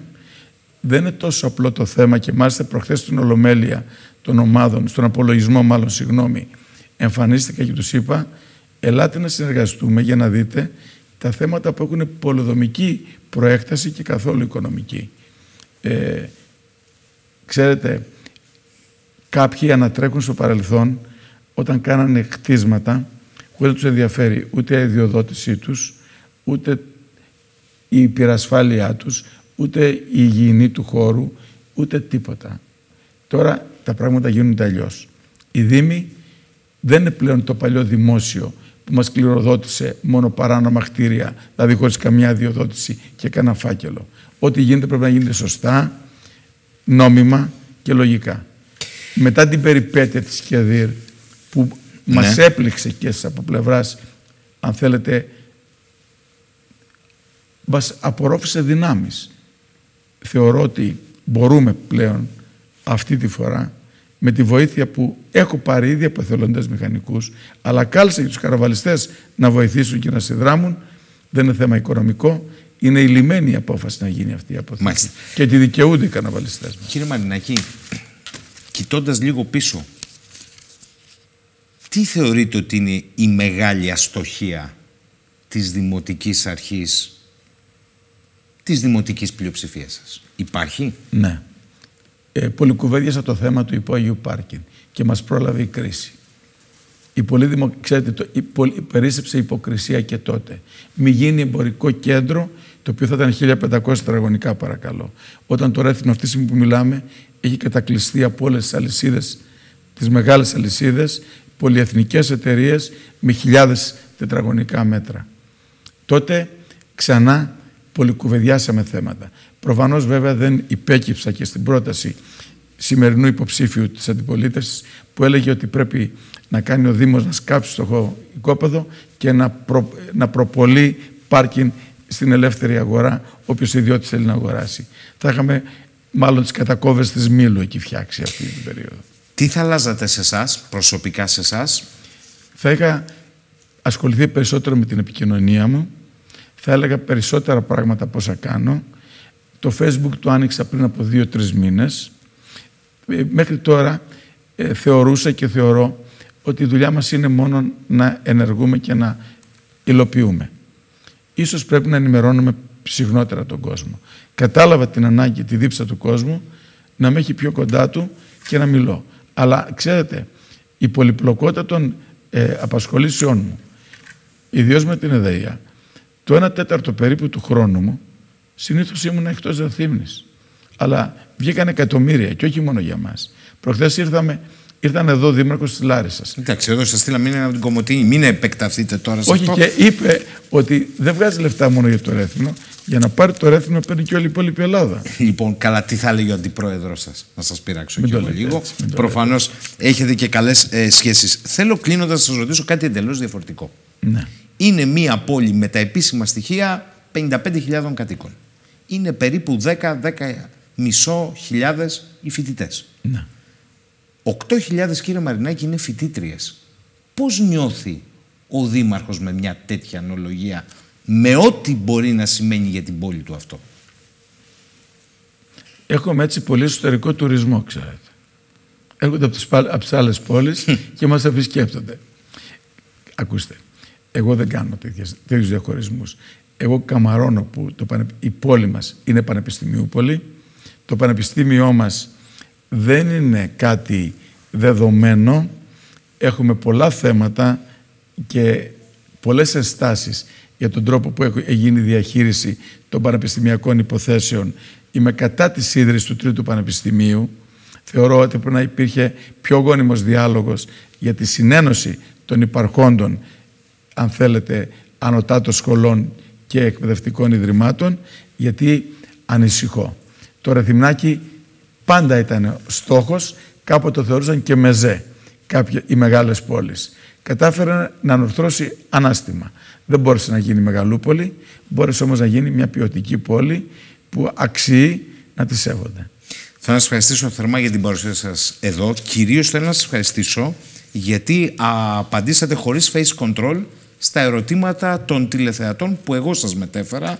Όσα δεν ακούστηκαν, δεν τα μετέφερα εγώ πρέπει να πω, γιατί δεν θα προλαβαίναμε. Θέλω να σας ευχαριστήσω θερμά για την παρουσία Θα σας. ήθελα όμως να μου τα πείτε ανωνύμως. Θα σας τα δώσω. Για να τα λάβω υπόψη μου, γιατί μέσα από το παράπονο αποδεικνύεται και το τι πρέπει να κάνουμε την επόμενη μέρα. Να είστε καλά, σας ευχαριστώ πολύ. Εγώ. Ευχαριστώ και εσάς φίλες και φίλοι. Καλό βράδυ.